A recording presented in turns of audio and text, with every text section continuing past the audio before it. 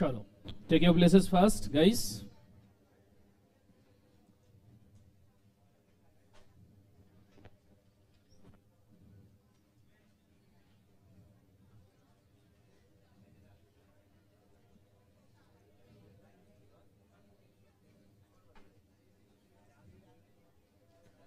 Shalom, take your places first.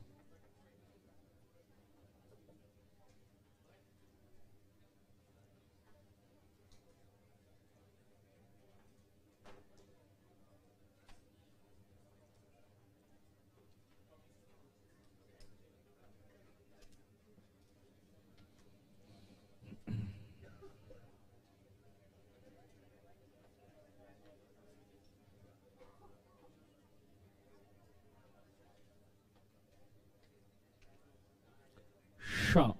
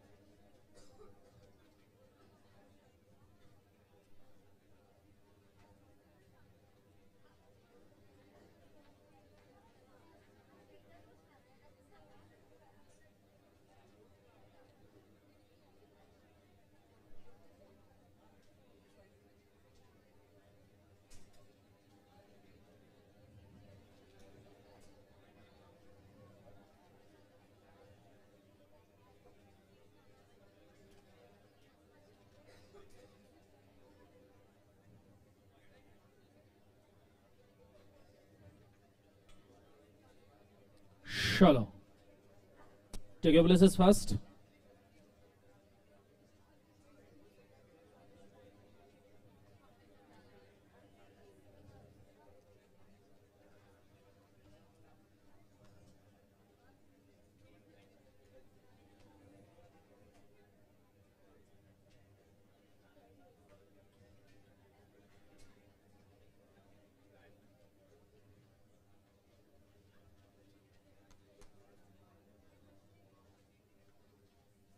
live stream के लिए।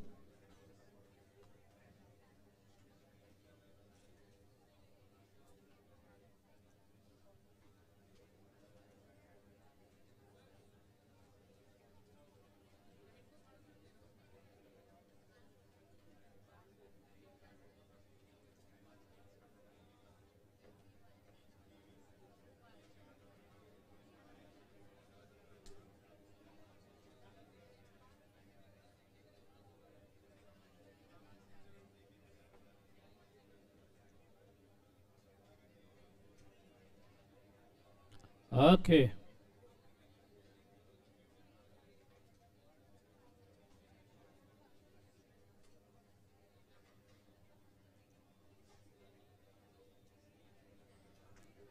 Shall Everybody settled? Chalo, are you guys ready?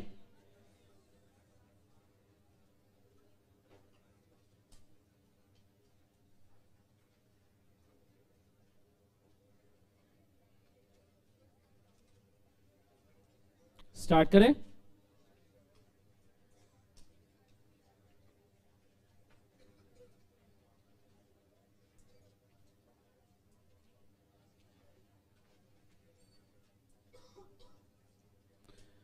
Okay, हर महादेव।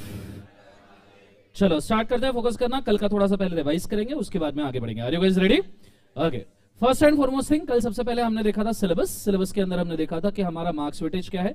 और फिर हमने देखा था एग्ज़ाम पेपर पैटर्न किस प्रकार से आता है। इज़ इट वेरी क्लियर बोलो हाँ ना? ये चीज़ होने के बाद में हम सेकंड चीज़ के ऊपर गए थे। हमने स्टार्ट किया था कि बेसिकली लॉ का मतलब क्या होता है और सबसे पहला लॉ दुनिया में कब बना था और इंडिया में सबसे पहला लॉ कब बना था? याद है सबको? बोलो हाँ ना? ओके okay, मुझे एक सवाल का जवाब दीजिए। इंडिया में जो लॉज बने थे सबसे पहले वो कितने पार्ट्स में डिवाइड होते हैं? दो।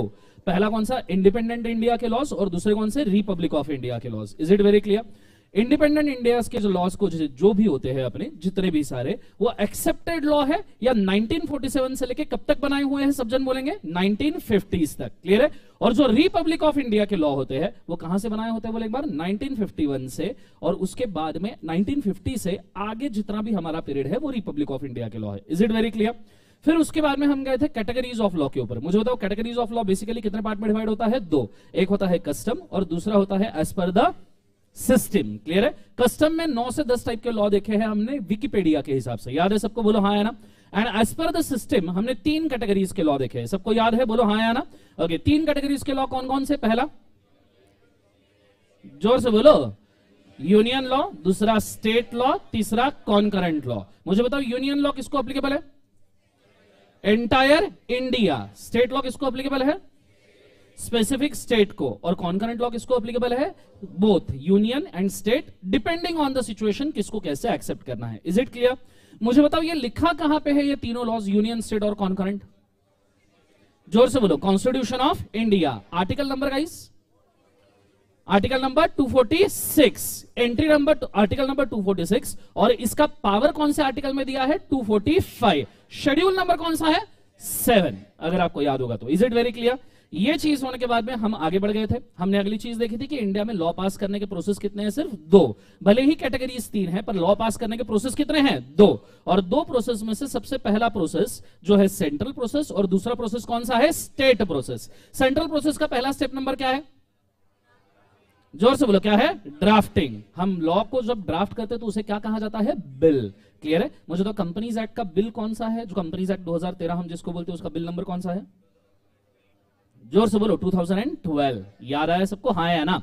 अच्छा बिल पास होने के पहले एक्ट पास होने के बाद। एक बार सब जन बोलेंगे, क्या बोलना है? बिल पास होने के पहले एक्ट पास होने के बाद। फिर उसके बाद में इसको इंट्रोड्यूस किया जाता है पार्लियामेंट में। पार्लियामेंट के बाद में इसके ऊपर पब्लिक कमेंट्स होते हैं। Is it clear public comment के बाद इसको फ़िल्टर करने के लिए किसके पास भेजा जाता है? कमिटीज ज़ोर से बोलो, किसके पास भेजा जाता है? कमिटी कमेटी इसके बाद में वापस से हम इसको पार्लियामेंट में भेजते हैं फॉर द पर्पज ऑफ़ क्या बोले? से approval is it very clear now parliament में जब हम for the purpose of approval भेजते हैं तो पार्लियामेंट के कितने हाउसेस है गाइस दो. कौन कौन सा? लोकसभा. और दूसरा कौन सा? राज्यसभा. मुझे बताओ, लोकसभा में टोटल नंबर ऑफ़ मेंबर्स कितने होते फाइव फोर फाइव और गवर्नमेंट बनाने के लिए स्पष्ट बहुमत वाली सरकार के लिए कितने लोग चाहिए? टू सेवेंटी टू याद है सबको बोलो? हाँ यार और दूसरा वाला चीज़ अगर हम 272 वोट्स ला लिए तो हम गवर्नमेंट भी बना सकते हैं, और अगर हमने 272 वोट्स ला लिए तो हम लॉ भी बना सकते हैं। इज़ इट वेरी क्लियर मैं क्या कह रहा हूँ? यह होने के बाद में नेक्स्ट वाला जो आता है दैट इज़ राज्यसभा। मुझे तो राज्यसभा में टोटल मेंबर्स कितने हैं? ज़ोर से बोलेंगे 245 उसमें से हमारे कितने हैं बोले एक बार? 123 123 मेंबर्स ने हाँ बोल दिया तो क्या लॉ बन जाएगा बच्चों? Yes Lok Sabha pass, Rajya Sabha pass, फिर किसके पास जाएगा? प्रेसिडेंट प्रेसिडेंट के पास कौन सा पावर है? वेटो वेटो पावर का मतलब क्या है? वन टाइम रिजेक्शन का पावर किसी भी लॉ को विद द रीजन याद है सबको? हाँ या ना? ये रिजेक्शन के पावर के बाद में हम आते हैं ऑफिशियल गैजेट के ऊपर। ऑफिशियल गैजेट में तीन चीज़ें मेंशन करते हैं। कौन कौन सी? Date area section date companies act कौन से दिन से एप्लीकेबल हुआ गई 12 सितंबर 2013 area India sections 98 out of कितना बोले एक बार से? 470 कुछ याद आया सबको? ये सुनो कल हमने यहाँ तक देखा था। अच्छा एक बार स्टेट के दो नाम बोल दीजिए मुझे स्टेट लेजिस्लेटिव असेंबली के।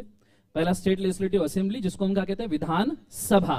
एंड स्टेट लेजिस्लेटिव काउंसिल जिसको हम क्या कहते हैं? विधान परिषद। इज़ इट वेरी क्लियर सबको प्रोसेस क्लियर है। स्टेट लॉ अप्रूव कौन करता है? जैसे इधर प्रेसिडेंट करता है, उधर कौन करता है? गवर्नर ज़ोर से बोलो, कौन करता है? Governor of the state is it very clear guys ज़ोर से बोलो हाँ या ना? चलो, ये चीज़ को हम आज, इसके बाद में आगे बढ़ेंगे। दो तीन चीज़ें कल के चार्ट में मुझे एडअप करके देनी है, ठीक है? आज का लेक्चर भी एज अ लॉ बेसिक रहेगा। मतलब मेरे लिए बेसिक आपके लिए थोड़ा सा एडवांस हो सकता है, लेकिन कल के बिल्टअप के ऊपर ही डिपेंड रहेगा। ठीक है? तो आज का लेक्चर बहुत कान खोल के सुनना। रीजन ये है, आज मैं आपको पूरा लीगल सिस्टम किस प्रकार से वर्क करता है, दुनिया का और इंडिया का इसके ऊपर क्या असर होता है, ये समझाऊँगा। क्योंकि हम दुनिया से रिलेटेड कुछ लॉस पढ़ने वाले हैं, जैसे foreign exchange management act general clauses जो इंटरप्रिटेशन लॉ है, ये चीज़ें आज हम पढ़ने वाले हैं, ठीक है? दैट्स वाई बहुत अच्छे से फोकस करना ठीक है? कल का चार्ट सबने ड्रॉ कर लिया, बच्चों? बोलो हाँ या ना? यस और नो अच्छा कल का आपका आखिरी दिन था? पूछो किस बात के लिए? होमवर्क ना देने का। ठीक है? तो आज से मैं आपको कुछ ना कुछ होमवर्क दूँगा। सोचा होमवर्क के बारे में? हाँ हाँ बहुत सोचा सर चलो एंड में डिस्कस करेंगे, पहले पढ़ा देते हैं, ठीक है? लेट्स गो स्टार्ट करें, बोले सर नो तो नीचे हेडिंग डालिएगा, ये चार्ट होने के बाद में few important points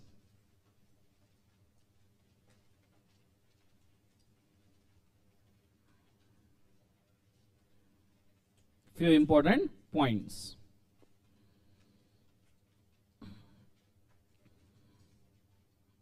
Are you guys ready? Okay. सबसे पहला इंपॉर्टेंट पॉइंट बिल कौन ड्राफ्ट कर सकता है ज़ोर से बोलो। तो लिखो drafting of bill allowed to any person but practically he shall have some powers. Practically he shall have some powers उसके पास कुछ ना कुछ पावर्स होना ज़रूरी है। ठीक है? पावर्स कौन से वाले? कौन से वाले? पॉलिटिकल तो ब्रैकेट में डालिए पॉलिटिकल पावर्स बहुत सारे टाइप के होते हैं। ठीक है? उसमें से कौन से? पॉलिटिकल ओके दूसरा दूसरा वाला पॉइंट ठीक है? हम पार्लियामेंट में जब लॉ इंट्रोड्यूस करते हैं तो नॉर्मली इस लॉ को रीड कौन करता है? अभी फेब्रुवरी में बजट आया। बोलो, किसने रीड किया था? फाइनेंस मिनिस्टर ने रीड किया था। तो नॉर्मली ये रीड कौन करता है? क्या उस मिनिस्ट्री के मिनिस्टर नहीं करना चाहिए कोई और भी कर सकता है? ज़ोर से बोलो। नॉर्मली ये रूल फॉलो किया जाता है कि जिस मिनिस्ट्री का ड्राफ्ट है, उस मिनिस्ट्री के मिनिस्टर ने ही इसको रीड करना चाहिए। हाँ अगर मिनिस्टर किसी और को नॉमिनेट करता है तो रीडिंग कोई और पर्सन कर सकता है, ठीक है? पर इसको हम लिखेंगे नहीं फॉर द मैटर क्योंकि ये इतना इंपॉर्टेंट नहीं है। नॉलेज पॉइंट ऑफ़ व्यू आपने दिमाग में रखना चाहिए। इज़ इट वेरी क्लियर फिर उसके बाद में हम पब्लिक कमेंट्स लेते हैं। पब्लिक कमेंट्स के बाद हम स्टैंडिंग कमिटीज में जाते हैं, ठीक है? मुझे एक बात बताओ स्टैंडिंग कमिटी के ऊपर कोई रेस्ट्रिक्शन है क्या कि सिर्फ़ देश की होनी चाहिए? या इंटरनेशनल स्टैंडिंग कमिटी के रिकमेंडेशन भी चल सकते हैं? चल सकते हैं। जैसे हमने कल देखा था कि कंपनीज़ एक्ट के लिए कितने इंटरनेशनल कमिटीज थे? दो। कौन कौन सा? कैडबरी एंड कोहेन और तीन कौन से कमिटीज थे? इंडियन समझ में आ रहा है सबको? हाँ है ना? तो लिखिएगा। The committees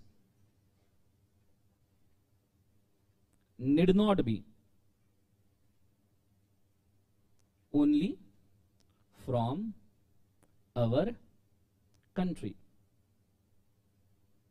it can be international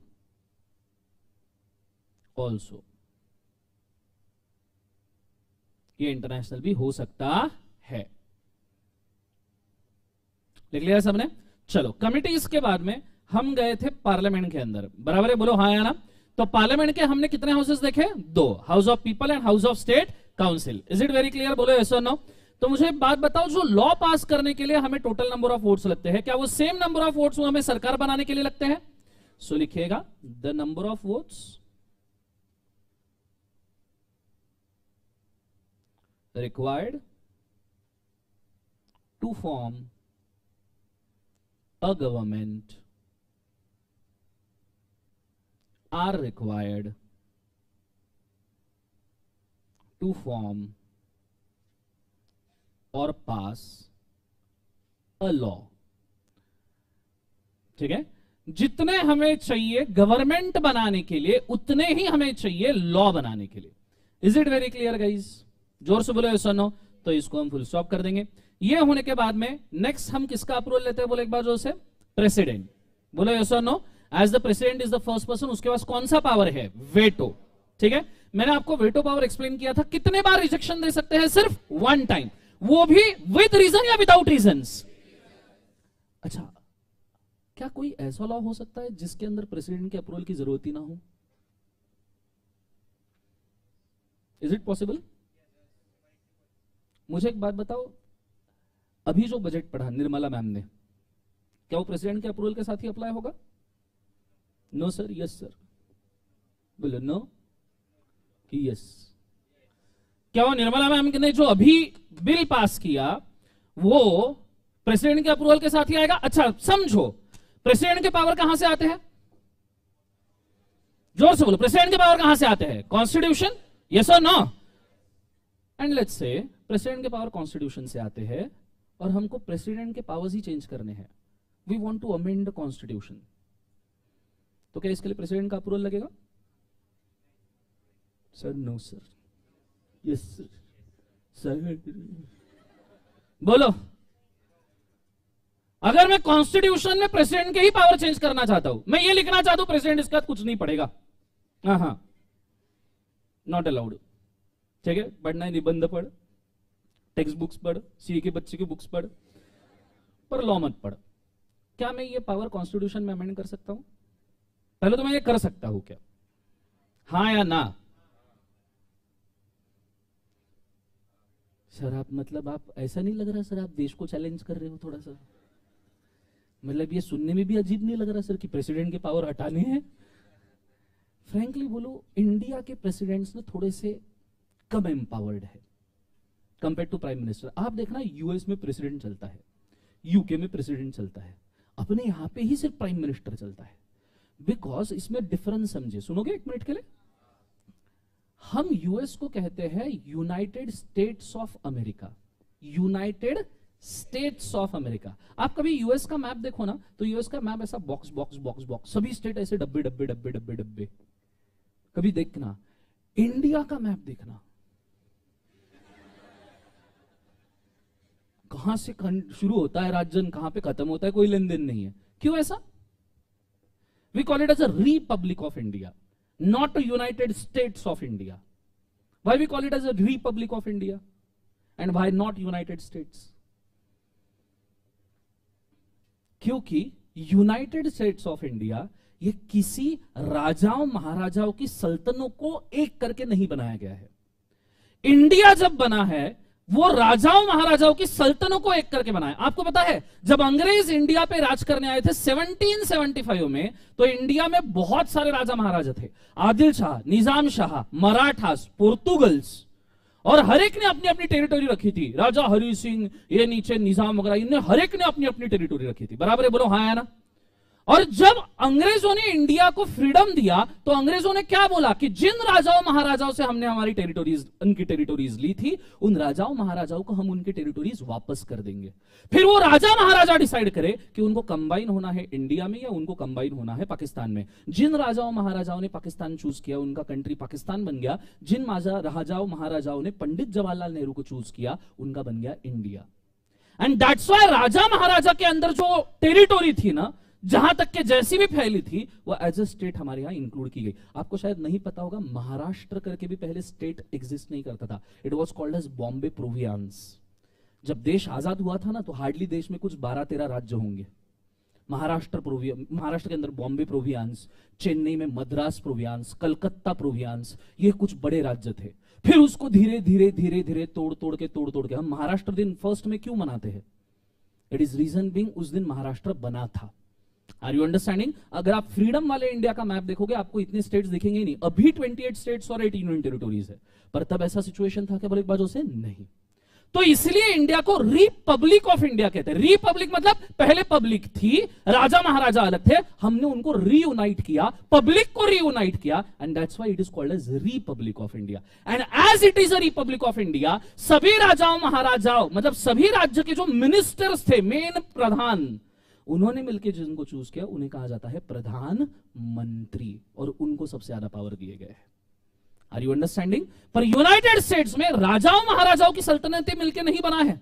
And that's why it is called United States geography को इकट्ठा किया बॉक्स बॉक्स बना दिए बोलिए तुम्हारा तुम्हारा तुम्हारा तुम्हारा game over is it very clear मैं क्या कह रहा हूँ? ज़ोर से बोले एक बार सुनो तो इंडिया में प्रेसिडेंट को पावर कम है मिनिस्टर को प्राइम मिनिस्टर को पावर ज़्यादा है रीजन यही है because it is a republic of India राजाओं, महाराजाओं ने जिसको, सभी राजाओं, महाराजाओं ने जिसको सबसे बड़ा शहनशाह माना, हम उसको प्रधानमंत्री बोलते हैं।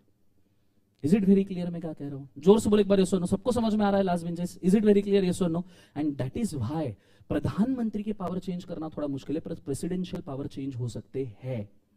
और इसे कहा जाता है कॉन्स्टिट्यूशनल अमेंडमेंट और ऐसा अगर आप कोई कॉन्स्टिट्यूशनल अमेंडमेंट ला रहे हो, जिसमें कॉन्स्टिट्यूशन चेंज हो रहा हो या प्रेसिडेंट का कोई पावर चेंज हो रहा हो तो इसके लिए हम प्रेसिडेंट का अप्रूवल नहीं लेते, इस लॉ सीधा पार्लियामेंट से पास हो जाता है। हम इसको प्रेसिडेंट के पास लेके ही नहीं जाते। दो टाइप के लॉज है जो हम प्रेसिडेंट के पास नहीं लेके जाते। मॉनिटरी बिल मॉनिटरी बिल मतलब फाइनेंस बिल्स वगैरह। क्यों? क्योंकि प्रेसिडेंट के अप्रूवल के लिए रखेंगे। तुमने टैक्स रेट लगाया, भैया, आज टैक्स रेट हुए होंगे ना कुछ ना कुछ। तुमने टैक्स रेट लगाया दस परसेंट प्रेसिडेंट बोले इसको बारह करो। ऐसे चल सकता है क्या? नहीं। तो दो लॉस प्रेसिडेंट के वेटो पावर के अंदर नहीं है। कौन कौन से? Monetary bill and constitutional amendment bills एक बार ज़ोर से बोलो, दोनों के दोनों। क्या बोलना है? Monetary bill and constitutional amendment bill तो नीचे का पावर बहुत अच्छे से लिखेगा। नेक्स्ट पॉइंट बहुत इंपॉर्टेंट है। द प्रेसिडेंट और द गवर्नर प्रेसिडेंट और governor have veto power to reject any law for one time with reasons. To reject any law for the one time with क्या बोले एक बार से reasons. रीजन के साथ में वो रिजेक्ट कर सकते हैं ठीक है but if same law is passed by parliament but if same law is passed by किसने बोले एक बार उसे parliament with or without implementing reasons with or without implementing क्या बोले एक बार उसे reasons then president is bound to accept the same. President is bound to accept the same president को इसको एक्सेप्ट करना ही पड़ेगा एट सेकेंड टाइम ठीक है? दूसरी बार जब आता है एक्सेप्ट करना ही पड़ेगा. आगे ह there are two laws not subject to precedents सबको दिख रहा है ना? बोलो हाँ है ना? So there are two laws not subject to president's approval कौन कौन से दो लॉ जो है जो प्रेसिडेंट के अप्रूवल के लिए सब्जेक्ट टू नहीं है? एक बार सब जन बोलेंगे कौन कौन सा? Monetary bill monetary bills and दूसरा कौन सा बच्चों? Constitutional amendment bills. Constitutional amendment bills.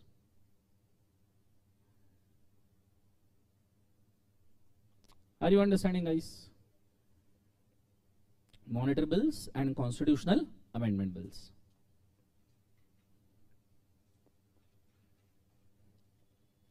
Is it very clear? सबको समझ में आया पक्का hi focus at this guy किधर खोए हो? मुंडे मुंडे झटको स्ट्रेट बैठो। क्या हो? कि क्या क्या ऐसा क्या करते क्या है विजय सर तुम्हारे साथ? ना, मतलब फूल जैसे आते हो मुरझा जाते हो लॉ के पहले। दो तीन बच्चों ने मेरे को बोला सर अकाउंट्स के पहले तो हम ज़िंदा भी थे ये भी समझ में नहीं आ रहा था। और बाद में तो सिर्फ़ हमारी लाश बाहर निकली है बोले। आत्मा तो कब की शरीर छोड़ के चली गई थी? थोड़ा जागो, थोड़ा थोड़ा सा अलर्ट रहो, ठीक है? चीज़ों का अपने को बहुत बहुत बहुत तीन महीने तक साथ निभाना है अपने को। समझ में आ रहा है तुमको? सर, हम तो राह देख रहे बीच में संडे कब आ रहा है। प्लीज़ फोकस ठीक है? प्लीज़ फोकस इंपॉर्टेंट पॉइंट लिखवा रहा हूँ, ठीक है? ध्यान दीजिए। रेडी है सब लोग? बोलो हाँ ना? जी सर बोलो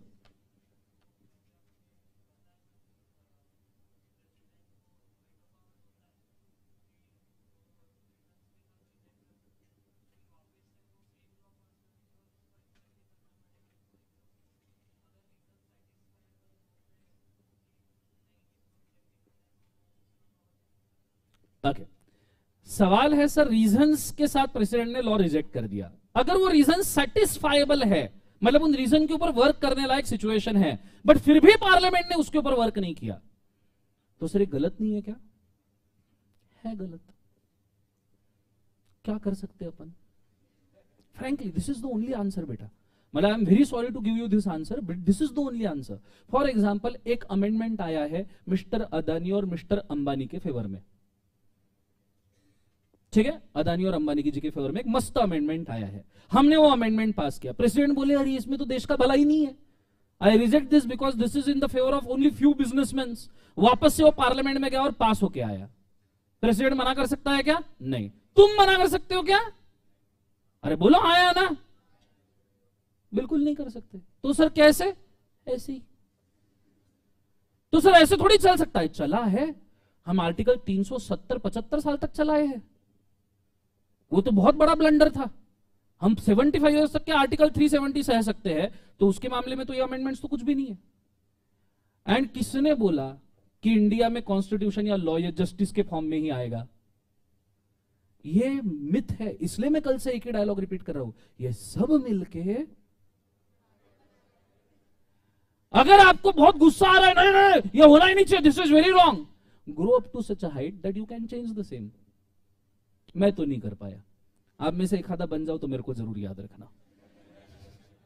कंसेप्ट समझ में आ रहा है सबको? हाँ ना? मेरे को भी कुछ लॉस देख के बहुत फ्रस्ट्रेशन आता है। कंपनीज़ एक्ट देख के तो अरे रे रे रे रे मतलब मैं आपको बताऊँगा, मैं आपको ऑडिट चैप्टर में, ऐसे ऐसे चैप्टर में बताऊँगा कि सत्यम की वजह से ये अमेंडमेंट आया। कुछ काम का नहीं है। कुछ काम का नहीं है। मैं आपको तब बताऊँगा भाई सब माथा मेरा खनक जाता है वहाँ पे। मैं आपको ये भी बताऊँगा कि ये चीज़ होनी चाहिए थी पर ये नहीं हुई। But what to do what कुछ नहीं कर सकते बेटा। There is no other option ऐसे ही है. ऐसे ही देश चल रहा है. समझ में आ रहा है सबको? हाँ ना? ज़ोर से बोले सर नो इसका कोई भी सेटिस्फैक्ट्री आंसर है ही नहीं. इज़ इट वेरी क्लियर ज़ोर से बोले sir no okay next one point number fourth के बाद में I am going for point number कौन सा बोले बाजू से? फिफ्थ ठीक है? अब ये पॉइंट काफ़ी इंपॉर्टेंट है. पूछो क्या? बहुत ज़ोर से लॉ आया है.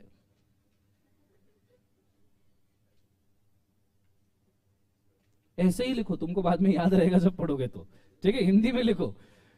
जिसको हिंदी नहीं आ रही J O R S E L A W आया ठीक है, ज़ोर से लॉ आया है यू ब्रैकेट में write down emergency law okay कल मैंने इमरजेंसी लॉ के कितने ऑप्शंस बताए थे बच्चों प्लीज़ टेल मी कौन कौन से लॉ बताए थे? दो।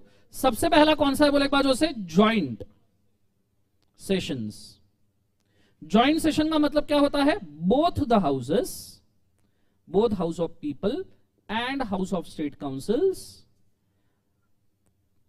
together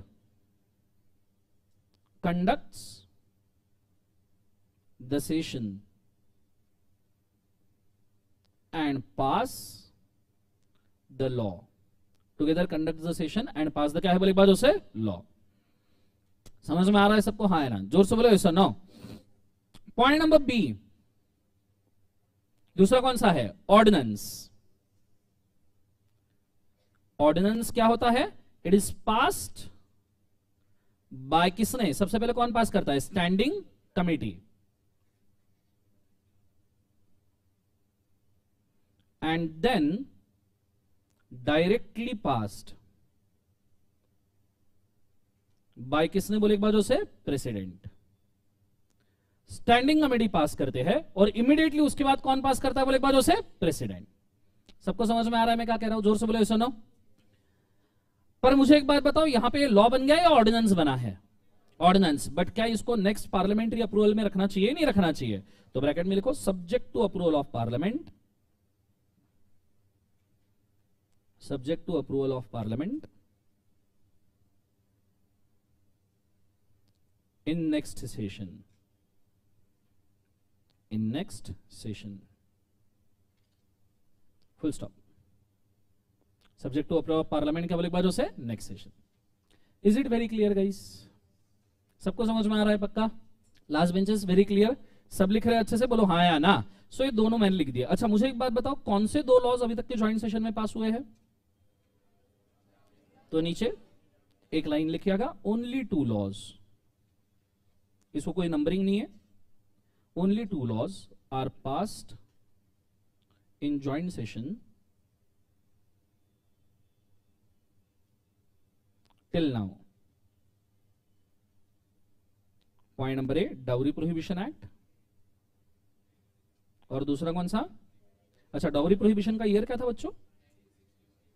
dowry prohibition act year है 1961 और दूसरा prevention of terrorism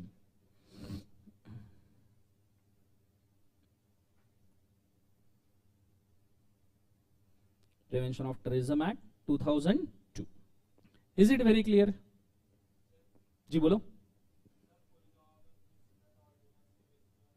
hmm.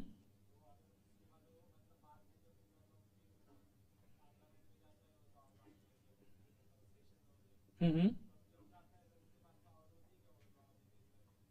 Okay सवाल है, सर, अगर कोई लॉ ऑर्डिनेंस में पास हुआ और बाद में वो पार्लियामेंट में गया तो पार्लियामेंट वो लॉ को रिजेक्ट कर सकती है क्या? बिल्कुल कर सकती है। आपका कंपनीज़ अमेंडमेंट ऑर्डिनेंस जो 2019 था, वो पार्लियामेंट में जब गया तो पार्लियामेंट ने उसमें से पाँच से छह प्रोविज़न डिलीट किए और फिर उसको कंपनीज़ अमेंडमेंट एक्ट 2020 बनाया है। तो जो ऑर्डिनेंस है, उसको पार्लियामेंट रिजेक्ट भी कर सकता है, बंद भी कर सकता है।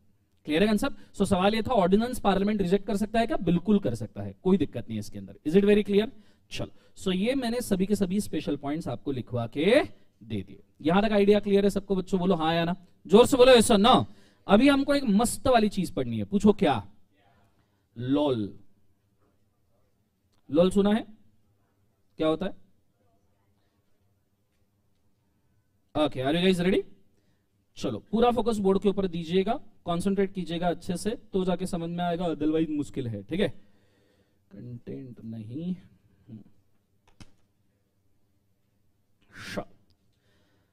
सो आज हम पढ़ने वाले हैं that is lol that is केवल एक बार से लोल लोल का मतलब क्या होगा? The law of land what do by law of land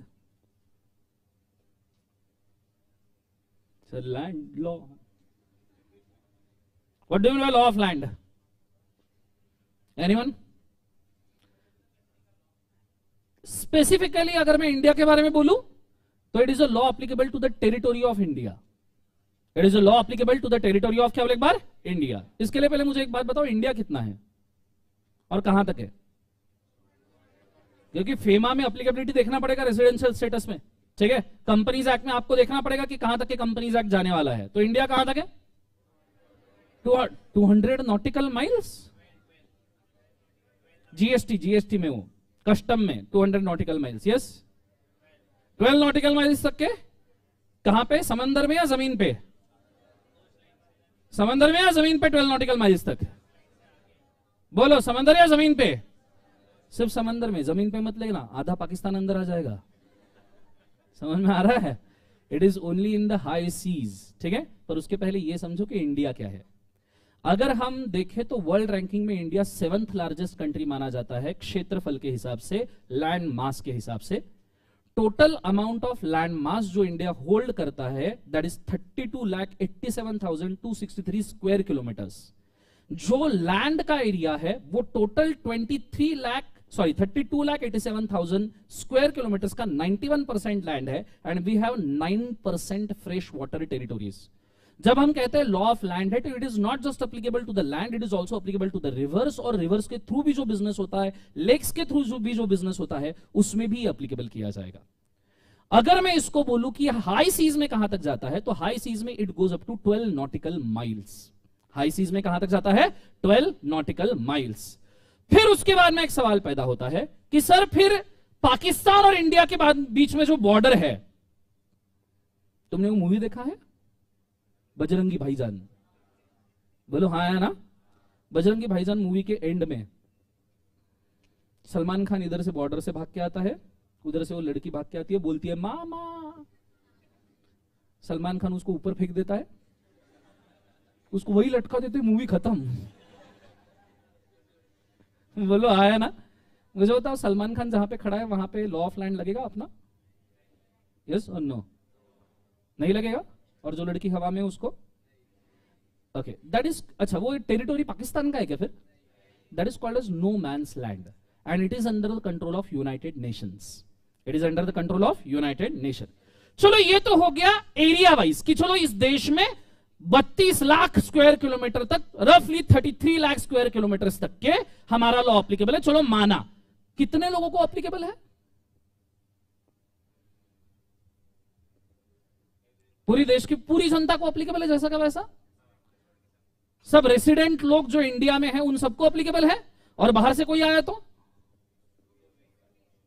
उसको भी है। बाहर से कोई इंडिया में रहने आया तो उसको भी अप्लीकेबल है। हाँ या ना? What about artificial person India में 140 करोड़ लोग हैं। हमने चाइना को अभी अभी 2023 में सरपास किया इस मामले में। We are very productive China is still trying if they try their best they can also overcome us ठीक है? पाकिस्तान तो किधर ही नहीं है। इसलिए कुछ कहावतें सही है पाकिस्तान के मामले में। हाँ या ना?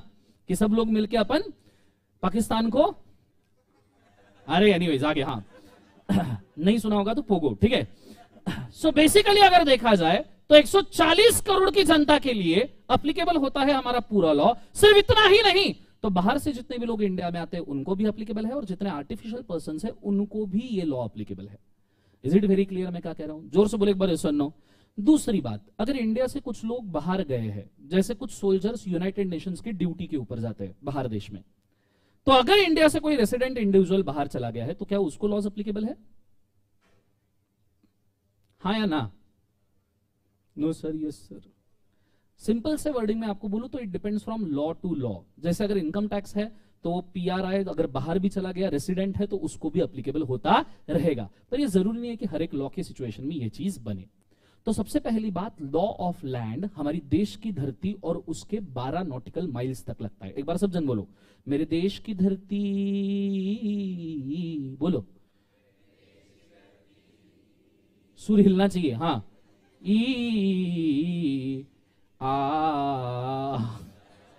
ठीक है? सो मेरे देश की धरती और उसके 12 नॉटिकल माइल्स मेरे देश की धरती। यहाँ पे क्या लगता है बोले एक बार? लॉ ऑफ़ लैंड और हमारे कितना स्क्वायर किलोमीटर का एरिया है? Thirty three lakhs is it very clear तो अब हम समझते हैं कि फिर लॉ ऑफ़ लैंड में आता क्या क्या है। ठीक है? अब पूरा ध्यान बोर्ड के ऊपर दीजिएगा। इमीडिएटली मैं आपको एक चार्ट ड्रॉ करके दे रहा हूँ। मेरे साथ साथ में कृपया ड्रॉ कीजिएगा। ठीक है? कल तक हमने सिर्फ़ एक्ट पास किया था। क्या पास किया था बोले एक बार? Act now we are going for law of land law of land is a broader term compared to the act act को अगर हम कंपेयर करें तो लॉ ऑफ़ लैंड बहुत ब्रॉडर टर्म आती है। ठीक है? सो लॉ ऑफ़ लैंड का अगर मैं बोलू सब जन साथ में लिखेंगे। लॉ ऑफ़ लैंड का अगर मैं बोलू तो सबसे पहला पोर्शन जो आता है, उसको कहा जाता है act that is called as एक बार act passed by parliament act passed by parliament और state legislature act pass by the parliament और स्टेट लेजिस्लेचर ठीक है? इसको हम सबसे पहले लॉ ऑफ़ लैंड का पार्ट मानते हैं। अब मुझे एक बात बताओ, अगर एक्ट हमारा नहीं हुआ है और ऑर्डिनेंस पास हुआ है तो मुझे एक बात बताओ, क्या ऑर्डिनेंस को भी लॉ ऑफ़ लैंड माना जा सकता है क्या? बिकॉज़ ऑर्डिनेंस तो पार्लियामेंट में पास नहीं हुआ है ना, बच्चों, बोलो हाँ या ना? सो लॉ ऑफ़ लैंड का दूसरा पार्ट होता है दैट इज़ ऑर्डिनेंस क्या होता है, बोले बाजू से ordinance this is passed by president passed by president subject to approval subject to approval of किसका, बोले बाजू से पार्लियामेंट सो हमने दो पैरामीटर देख लिए लॉ ऑफ़ लैंड के। सबसे पहला क्या है बोले एक बार उसे एक्ट और दूसरा क्या है बोले एक बार उसे ऑर्डिनेंस क्लियर है? अब समझो, आपको एक्ट भी समझ में आया, आपको ऑर्डिनेंस भी समझ में आया, पर आपको लॉ में फिर भी इंटरप्रिटेशन की दिक्कत है तो हम जाते हैं डिपार्टमेंट के पास। किसके पास जाते हैं बोले एक बात उसे डिपार्टमेंट मुझे एक बात बताओ डिपार्टमेंट मतलब कंपनीज़ एक्ट के लिए डिपार्टमेंट कौन सा माना जाएगा? कंपनीज़ एक्ट के लिए विच इज़ द डिपार्टमेंट ज़ोर से बोलो ministry of corporate affairs we can say कितने मिनिस्ट्रीज है इंडिया में वैसे? How many ministries are there in India क्योंकि तुम्हारे सिलेबस में नियरली 10 से 12 मिनिस्ट्रीज है। 10 टू 15 मिनिस्ट्रीज जिनको तुमको याद रखने का है हाँ? ठीक है? अब मिनिस्ट्री ऑफ़ कॉर्पोरेट अफेयर्स तो ये एक हुई। ऐसे कितने मिनिस्ट्रीज है इंडिया में? Any one okay mark my words लिख के रखिएगा। There are thirty five ministries nearly with 28 ministers. 35 ministries with 28 ministers. 35 ministries ये रफली है. क्यों रफली है? क्योंकि time to time ministries change हो सकती है टाइम टू टाइम जैसे कोविड के वक्त एक स्पेसिफिक मिनिस्ट्री बनाई गई थी for the purpose of lockdown और कोविड के इनिशिएशंस के लिए, जो कोविड के बाद में डिसॉल्व कर दी गई। तो ये नंबर वेरिएबल है। 35 मिनिस्ट्रीज कभी 36 हो सकता है, कभी 34 हो सकता है। पर ये बीजेपी गवर्नमेंट में the most stable number was 35 throughout last ten years concept समझ में आ रहा है सबको? हाँ है ना? अरे बोलो ये so no so how many ministries are there बोले बाजू से? 35 with how many ministers are there 28 तो सर क्या इसका मतलब ये है कि एक मिनिस्टर एक से ज़्यादा मिनिस्ट्री हैंडल कर सकता है? बोलो हाँ या ना? एनी एग्जांपल कि एक मिनिस्टर एक से ज़्यादा मिनिस्ट्री हैंडल कर सकते हैं? कौन कौन है?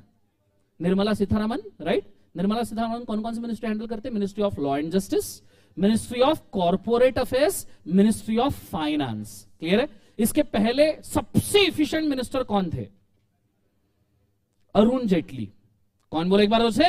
अरुण जेटली जी। अरुण जेटली की अगर हम बात करें तो ministry of defence ministry of corporate affairs ministry of law and justice and ministry of finance चार मिनिस्ट्री लेके चल रहे थे।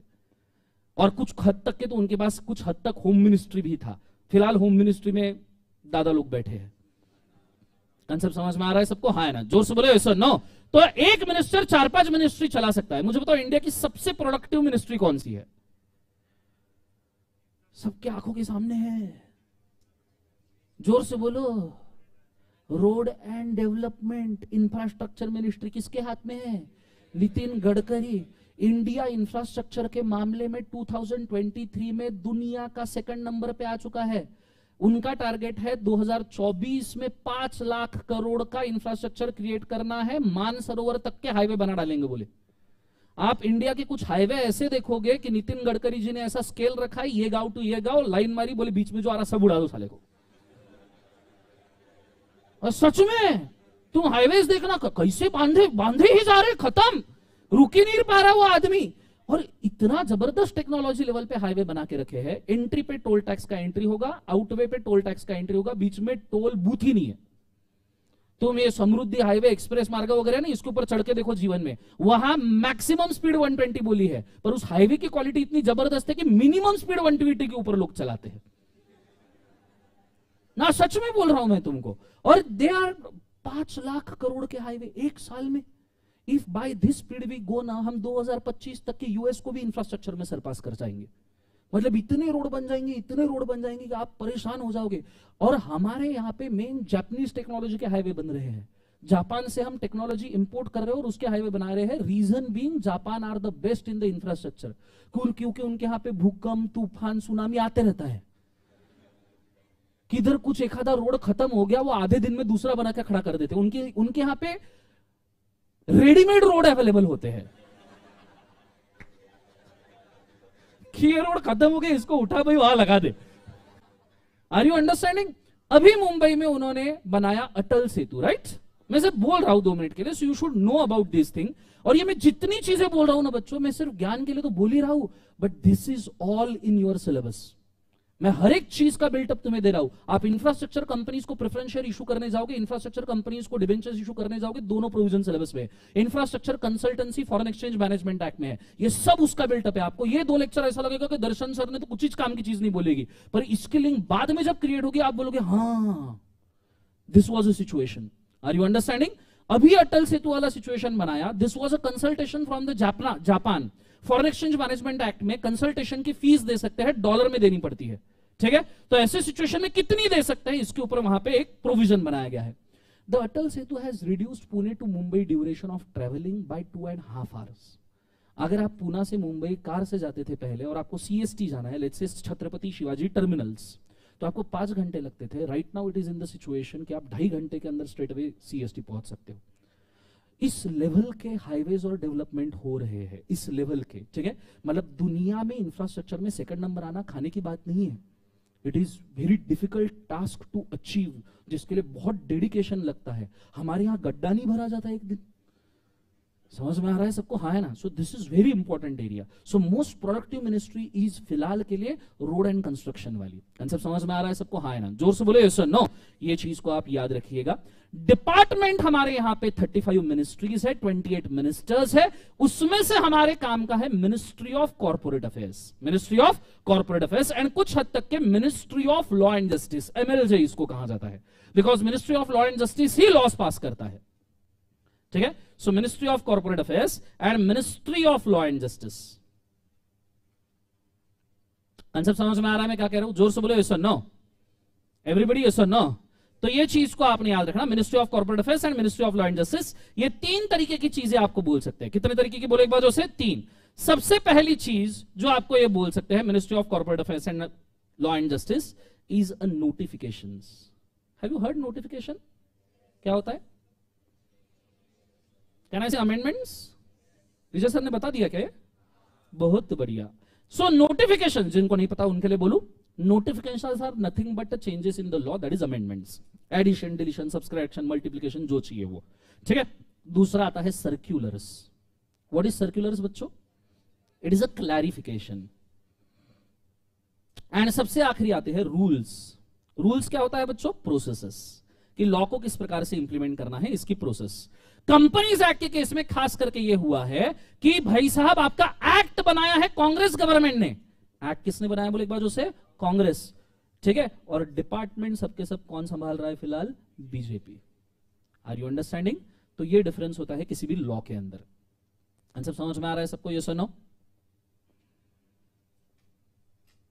यहाँ तक आइडिया क्लियर है बच्चों? एवरीबडी ये सर नो ओके अब पूरा ध्यान मेरे तरफ़ देना। चलो, तीन पार्ट हो गए लॉ ऑफ़ लैंड के। सबसे पहला पार्ट क्या था बोलो सब जन? जरा ज़ोर से बोलो क्या था?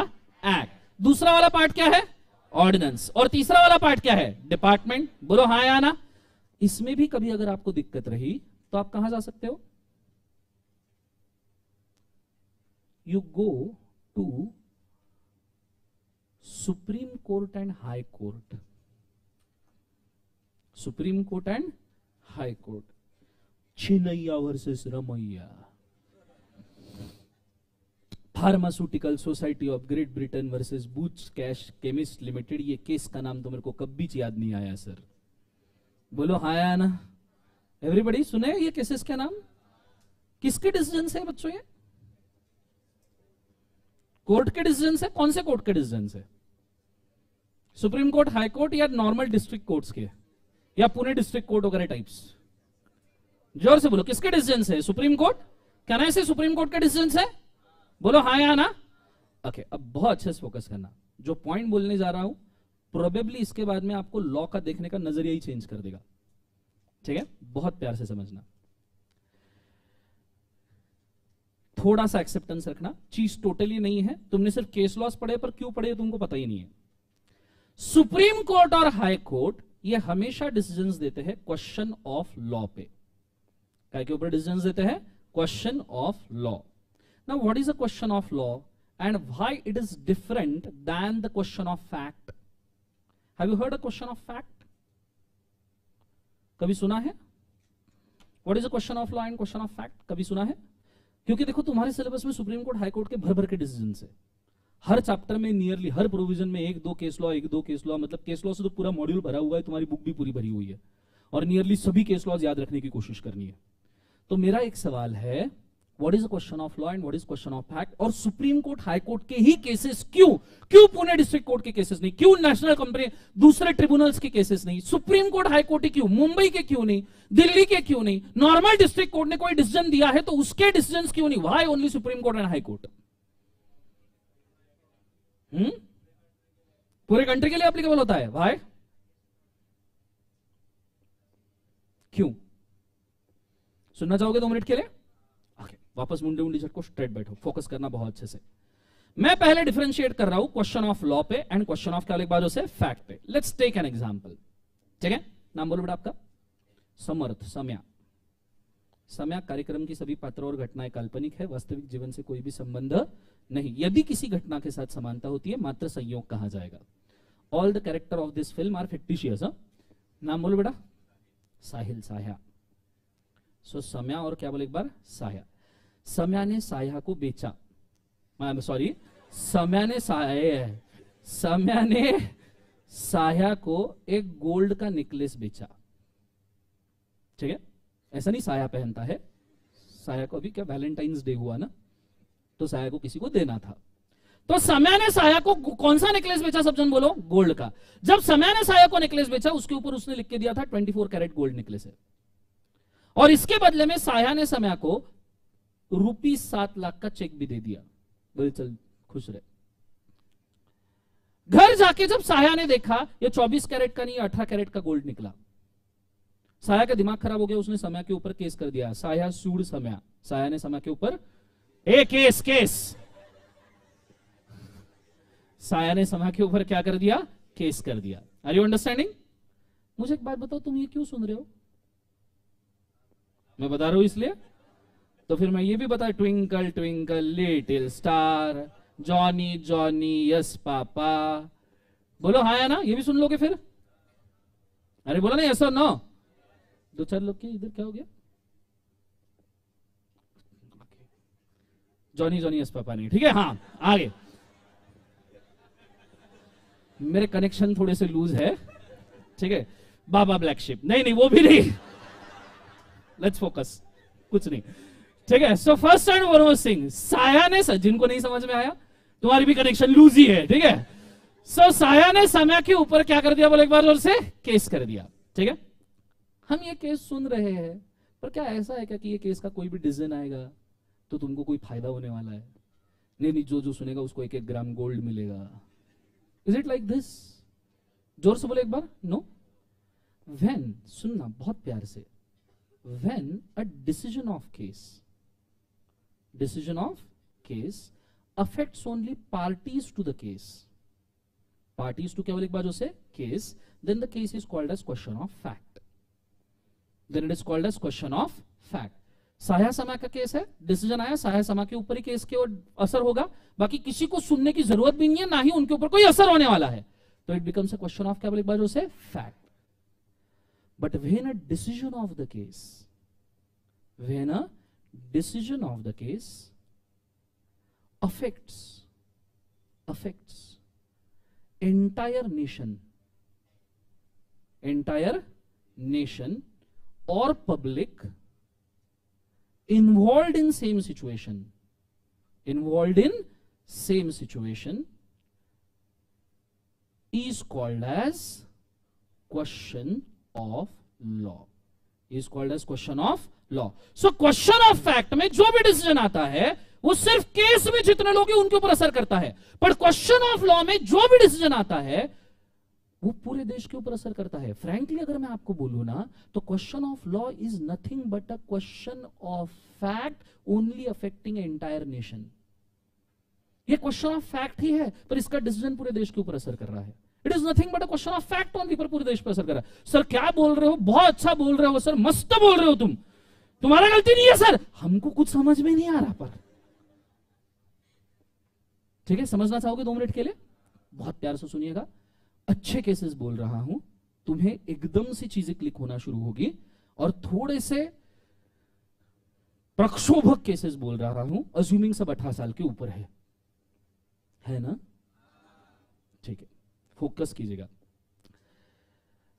एक केस हुआ था क्वेश्चन ऑफ़ लॉ समझाने के हिसाब से। एक केस हुआ था जन्माष्टमी का। जन्माष्टमी सुना है सबने? जन्माष्टमी? कृष्ण जन्माष्टमी? कृष्ण जन्माष्टमी पे एक मस्त चीज़ होती है। महाराष्ट्र में तो खास करके होती है, पूरे देश में भी होती है। मथुरा, वृंदावन में तो एकदम जोरदार। पिरामिड्स बनाए जाते हैं। बोलो हाँ ना? पिरामिड्स बना के ऊपर दही हंडी फोड़ दी जाती है। बोलो हाँ ना? दैट इज़ रिचुअल और सबको मज़ा भी आता है, सब एकदम नाचते गाते हैं। खतरनाक माहौल हो जाता है पूरे देश का। बोलो ऐसा नो ऐसा कहा जाता है कि होली और कृष्ण जन्माष्टमी तुमने मथुरा वृंदावन में मनानी चाहिए। बोलो ऐसा नो? सो so, अगर कृष्ण एक केस हुआ था मुंबई का था स्लम एरिया वाला केस था स्लम एरिया के कुछ लोगों ने मिलके एक मंडल बनाया मित्र मंडल। मित्र मंडल ने कृष्ण जन्माष्टमी को पिरामिड्स बनाए। और आपने नॉर्मली देखा होगा कि पिरामिड के सबसे ऊपर जो बच्चा होता है नॉर्मली बच्चा ही होता है, वो सबसे हल्का, सबसे पतला, सबसे नाटा सा बच्चा होता है सो दैट उसको उठा के फेंक पाए। बोलो, ऐसा no so that you can carry him easily और उसको मेंटेन करना आसान हो जाए। बोलो हाँ ना? तो ऐसा ही एक बच्चा कृष्ण जन्माष्टमी के बाद पिरामिड के टॉप के ऊपर पहुँच गया।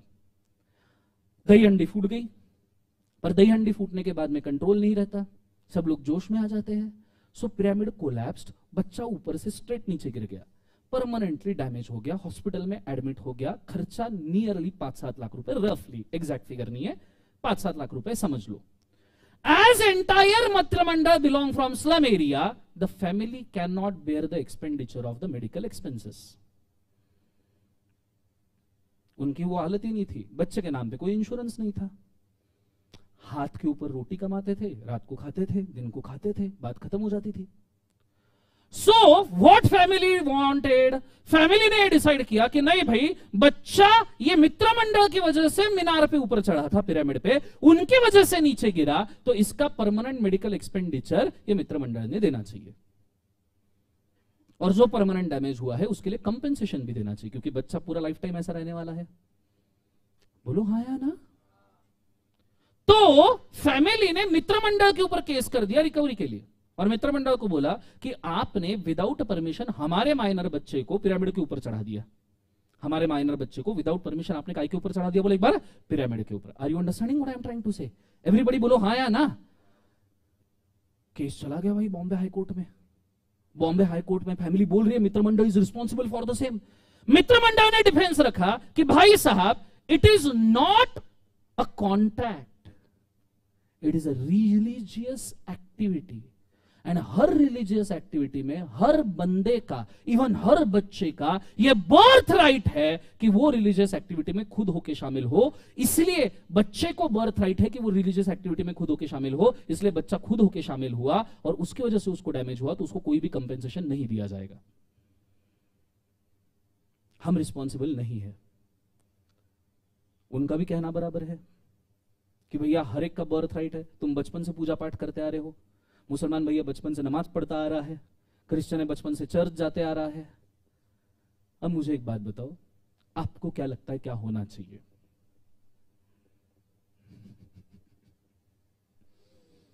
फैमिली को कंपेंसेशन मिलना चाहिए, नहीं मिलना चाहिए? एवरीबडी प्लीज़ टेल मी ये प्रेशर होता है हाईकोर्ट जज का। यू गेट इट ये प्रेशर किसका होता है? हाईकोर्ट जज का। फिर भी बॉम्बे हाईकोर्ट ने डिक्लेयर कर दिया। क्या डिक्लेयर किया बॉम्बे हाईकोर्ट ने? बॉम्बे हाईकोर्ट ने डिक्लेयर किया, Mitra Mandal is at the fault a child do not have any right to participate in religious activity by himself always a consent of the parent is necessary before participating in the religious activity कि religious activity में participate करने के पहले बच्चे के parents का approval लेना ज़रूरी है। ये बॉम्बे हाईकोर्ट ने डिक्लेयर कर दिया। कि किसी भी रिलीजियस एक्टिविटी में पार्टिसिपेट करने के पहले किसका अप्रूवल सब जन बोलेंगे, किसका अप्रूवल लेना ज़रूरी है? बच्चे के पेरेंट्स का। बॉम्बे हाईकोर्ट ने डिक्लेयर कर दिया मित्र मंडल को बोल दिया कंपेंसेशन दे भाई। तूने अप्रूवल नहीं लिया पेरेंट्स का। इसका क्या असर हुआ है? आपको समझ में आ रहा है? इसका मतलब हर बच्चा उसके बाद में, क्योंकि हाईकोर्ट का डिसीज़न पूरे देश में अप्लीकेबल होगा। उसके बाद में हर बच्चा देश में कोई भी रिलीजियस एक्टिविटी में इन्वॉल्व होना चाहता है, वो पहले पेरेंट की परमिशन लेगा। तुम दिवाली में टिकली फोड़ना चाहते हो? वो दीवार पे घिसते थे ना? सो घिसने के पहले, पप्पा साइन करो। टिकली फोड़नी है। फटाका फोड़ना है रॉकेट लगाना है। हर एक के लिए अप्रूवल लोगे तुम? होली में कलर लेके आए पप्पा पापा थोड़ ये हो जाएगा ना सिचुएशन तुम मंदिर में जाने की कोशिश कर रहे हो अगरबत्ती लगाना चाहते हो as a child very fascination about flames वगैरह बचपन में नहीं क्या आग वगैरह हम्म, हम्म। पूरी दुनिया को जला दूँगा। तेरी चाहत में। बोलो हाँ है ना? सो बचपन में मंदिर में अगरबत्ती लगाना चाहता है? लगाने के पहले पप्पा। ऑब्वियस बात है, ये होगा। बिकॉज़ रिलीजियस एक्टिविटी प्रार्थना करने के पहले पप्पा, पूजा करने के पहले पप्पा, नमाज़ पढ़ने के पहले पप्पा चर्च में जाने के पहले पप्पा। मतलब every single step there is approval of parent because every single activity in the life roughly 50% of activity of the child life are the religious activity because हर पेरेंट ये चाहता है कि खुद के बच्चे को खुद का रिलीजन पढ़ाए। तुम्हारे साथ भी ये हुआ है। इज़ इट और नॉट ज़ोर से बोले ऐसा नो आप बचपन से देखो कितना पूजा पाठ करते थे आप। शाम को आप मंत्र पढ़ते थे, मम्मी के साथ बैठ के। साथ में आपको हनुमान चालीसा पढ़ा दी होगी। आपको बहुत सारे रिलीजियस टेक्स्ट और स्कल्पचर्स पढ़ा दिए होंगे। बोलो हाँ या ना? क्या इन सब के लिए तुमने अप्रूवल लिया था? तुम गए बॉम्बे हाईकोर्ट की तरफ़ से, तुम यू ऑल आर फिनिश्ड तो देश में बवाल हो गया भाई साहब कि ऐसे कैसे चलेगा? पब्लिक इंटरेस्ट लिटिगेशन डाला मित्र मंडल ने सुप्रीम कोर्ट में। ये देखो बोले बॉम्बे हाईकोर्ट सटक गए क्या जीवन में? ये क्या बोल रहे हैं? सुप्रीम कोर्ट ने है देखा, बोले अरे बात तो बोले सही कर रही है। ऐसा हर रिलीजियस एक्टिविटी के लिए अगर पेरेंट्स का अप्रूवल बोला तो बात खत्म हो गई जीवन में। ये तो हम धर्म को ही मार देंगे। समझ में आ रहा है मैं क्या कह रहा हूँ? सुप्रीम कोर्ट ने दिमाग लगाया। ये अब सुप्रीम कोर्ट के जज का pressure are you understanding supreme court ने क्या सटीक डिसीज़न दिया होगा? बोले every single child in India have a power to participate in the religious activity as he wish ये भी नहीं कि तुम पेरेंट्स की ही फॉलो करो। एज ही विश क्योंकि बच्चों में कोई धर्म नहीं देखा जाता भाई। समझ में आ रहा है? As he wish but if in case such activity requires a public association such activity if requires public association and the activity is risky it is a duty of the association to take a insurance for such activity and make a specific provisions for the safety otherwise the association will be responsible for the damage of such children मतलब ये association की ज़िम्मेदारी है कि अगर आप risky activity में किसी को इन्वॉल्व कर रहे हो वो भी बच्चे को तो इतना कॉन्शियस आपका क्लियर होना चाहिए कि आप एक तो पैसा दो नहीं तो इंश्योरेंस लेकर रखो जिससे आपके ऊपर भी कोई बर्डन नहीं आएगा and that is how supreme court solve the case कि हर बच्चा, इस वजह से तुम आज के डेट में भी रिलीजियस एक्टिविटी खुद के दम पे कर सकते हो। कंसेप्ट समझ में आ रहा है मैं क्या कह रहा हूँ? ज़ोर से बोले एक बार सुनो। एवरीबडी अंडरस्टूड अब मेरे को एक सिर्फ़ एक सवाल का जवाब दो। क्या ये डिसीज़न अब पूरे देश पे ऊपर असर करेगा या नहीं करेगा? क्या ये डिसीज़न हर देश के बच्चे पे असर करेगा या नहीं करेगा? It was just a fact between a family and a Mitra Mandal. Now it becomes a law for entire nation. This is a question of fact converted to question of law. Is it very clear, everybody? ज़ोर से बोले सुनो थोड़ा तगड़ा सह सकते हो एकदम? जोरदार वाला सह सकते हो? सह लोगे पक्का? मुंडे मुंडे सड़को, वापस स्ट्रेट बैठो। थके हारे बच्चों मेरे। केस बहुत सीवियर है, पर बोले बगैर रह नहीं सकता, क्योंकि इन चीज़ों के बारे में भी थोड़ा सा ज्ञान होना चाहिए। केस बहुत ब्रूटल है। जज करने की कोशिश मत करना, पर इन चीज़ों के बारे में तुम यंग हो तो तुम्हें पता होना चाहिए। केस है रेप का। ठीक है? सबसे घिनौना कोई काम हो सकता है तो it is one of them obviously फांसी की सजा होनी चाहिए। उसमें भी रेप अगर चाइल्ड का होगा तो और बेकार। एक माइनर लड़की थी। रफली पंद्रह सोलह साल, नाम लूँगा नहीं। अनफॉर्चुनेटली वेरी अनफॉर्चुनेटली उसके ऊपर किसी पर्सन ने रेप किया। लड़की immediately due to shock of the same due to brutality of the same she went in to coma और वो कोमा से रफली पाँच महीने बाद बाहर आई। To her worst of the unfortunation, she got pregnant due to such a rape.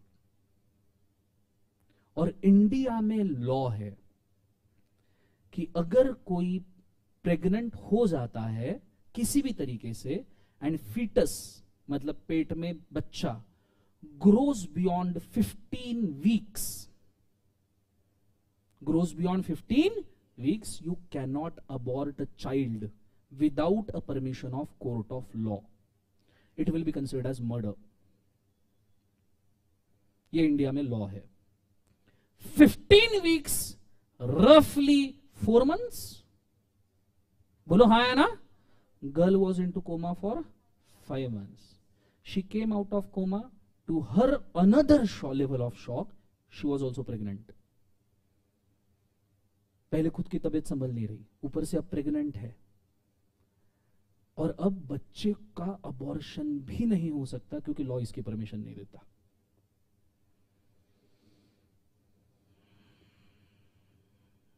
बोलो, क्या करना चाहिए? सुप्रीम कोर्ट के जज का pressure. Any solutions sir logically तो लग रहा है कि बच्ची ने अबॉर्ट कर देना चाहिए। पर अब लॉ ही नहीं बोलता तो हम क्या बोले? इज़ इट बोलो? हाँ है ना? सुप्रीम कोर्ट के जज ने क्या सुंदर डिसीज़न दिया होगा। देर आर क्या बोला होगा? बहुत प्यार से सुनना। There are situations where the law should also the law should only be considered as a text. Law is not a system to live the life. Law is a system to control the nation and the public. But where law itself fails to make a justice you should only consider it as a text and not as a system. And that is why if any girl or a boy or any person is involved in such a tragic experiences, then such a girl will have a choice to decide whether she want to have a child or not. The entire expenditure of living or abortion of such a child and his life should be recovered out of the assets of the rapist. An entire family maintenance of such a girl and her medical expenses till she attains the age of majority should be paid from the assets of such a rapist. ये नहीं बोला कि बच्चे को abort कर दो। ये नहीं बोला। क्या बोला? लड़की को ऑप्शन है ये डिसाइड करने का कि उसने क्या करना है। क्योंकि उन्होंने सुप्रीम कोर्ट के जज ने किस डायमेंशन में सोचा होगा भाई? उसने ये भी क्योंकि आपको शायद नहीं पता बायोलॉजिकली जब आप कंसीव करते हो बेबी तो बॉडी में कुछ ऐसे चेंजेस होते हैं कि एक ममत्व जाग जाता है। And if you get attach to a child even for a week और a two you cannot just live in एक फीमेल बायोलॉजिकल एक्सपीरियंस है which becomes a more emotional experience afterwards and because of the same आप अगर straight away बोल दोगे abort कर दो तो इट बिकम्स कंपल्शन फिर लड़की को उस चाइल्ड को छोड़ना ही पड़ेगा। What if she wants to have it उस बच्चे की क्या गलती है? What if she wants to have it तो ऐसे सिचुएशन में सुप्रीम कोर्ट ने उनके ऊपर छोड़ दिया। आप डिसाइड करो आपको क्या करना है। आपको लगता है अबॉर्ट करना है, हम अबॉर्ट कर देंगे। आपको लगता है बच्चे को जीना है तो बच्चे को हम जिलाएँगे और खर्चा बंदे के असेट्स में से देंगे सर, बंदे के असेट में पैसा ही नहीं है। The amount will be paid from public fund union of India but education and family maintenance of such a child and such a girl should be paid by anyhow. यहाँ पे supreme court ने unknowingly देश के law का defeat भी accept किया है। Union of India में से पैसा देके सुप्रीम कोर्ट ने यह भी एक्सेप्ट किया है कि भाई हम सभी चीज़ों को कंट्रोल नहीं कर सकते and we are very sorry कि हमारे सिस्टम इतनी कमज़ोर है कि आपको अनफॉर्चुनेशन सहना पड़ा। ये अब सुप्रीम कोर्ट डायरेक्टली नहीं बोल सकता कि हमारी सिस्टम फेलियर है। That's why how they said indirectly कि अगर किसी के पास पैसा नहीं है तो we are ready to bear it out of union of India concept समझ में आ रहा है सबको? हाँ है ना? अब मुझे एक बात बताइए। ऐसा कभी ना हो, पर इफ़ इन केस ऐसे सिचुएशन में, इसके बाद में फ्यूचर में, क्योंकि इंडिया में राक्षसों की कमी नहीं है। ठीक है? ऐसे ही सिचुएशन में कोई लड़की वापस से फंस जाती है और वापस सेम सिचुएशन लीड होता है can we use the same litigation for the justice ज़ोर से बोलो हाँ है ना? So it was a question of fact affected entire nation becomes a question of law is it very clear ज़ोर से बोलो एक बार ये सुनो। अब सुनिएगा कि आपको इसको क्यों पढ़ना है। Question of fact only affects parties to the contract right question of law affects entire nation right अरे बोलो हाँ या ना you are going to be a consultant for just parties or entire nation you are going to be consultant for entire nation right across from jammu kashmir till kanyakumari right तो ऐसे situation में अगर आप national consultant बन रहे हो तो आपको लिटिगेशन पार्टीज़ के पढ़ानी चाहिए नेशनल इंटरेस्ट के पढ़ानी चाहिए? And that is why supreme court high court के केसेस तुम्हारे सिलेबस में आते हैं और पुणे डिस्ट्रिक्ट कोर्ट के नहीं। बिकॉज़ पुणे डिस्ट्रिक्ट कोर्ट के केसेस सिर्फ़ पार्टीज़ टू कॉन्ट्रैक्ट पे असर करते हैं सुप्रीम कोर्ट हाई कोर्ट के केसेस पूरे देश पे असर करते हैं और आप इस देश के कंसल्टेंट बनने वाले हो। Is it very clear so supreme court high court cases is the last but not the least part of law of land ये चारों चीज़ें मिलके गवान करती है, इस देश के बत्तीस lakh eighty seven thousand rough square kilometres. Plus twelve nautical miles in the sea. And this is entire law. इसे हम क्या कहते हैं? लॉ। और इतनी चीज़ें हमको पढ़नी है। इसमें से हर चीज़ पढ़नी है। कंपनीज़ एक्ट तो हम पढ़ ही रहे हैं। ऑर्डिनेंस भी हम पढ़ रहे हैं। कंपनीज़ अमेंडमेंट ऑर्डिनेंस 2019 डिपार्टमेंट के नोटिफिकेशन सर्कुलर रूल्स भी हम पढ़ेंगे। तुम्हारे सिलेबस में मैक्सिमम सवाल रूल्स के ऊपर ही पूछे गए हैं। And in addition to it supreme court high court के केस तो तुम फाउंडेशन से पढ़ते आ रहे हो। जो अभी भी पढ़ने ही पड़ेंगे आगे जाके पढ़ने ही पढ़ेंगे बिकॉज़ यही केसेस जिसके बेसिस पे तुम कंसल्टेंसी दोगे और पैसा कमाओगे।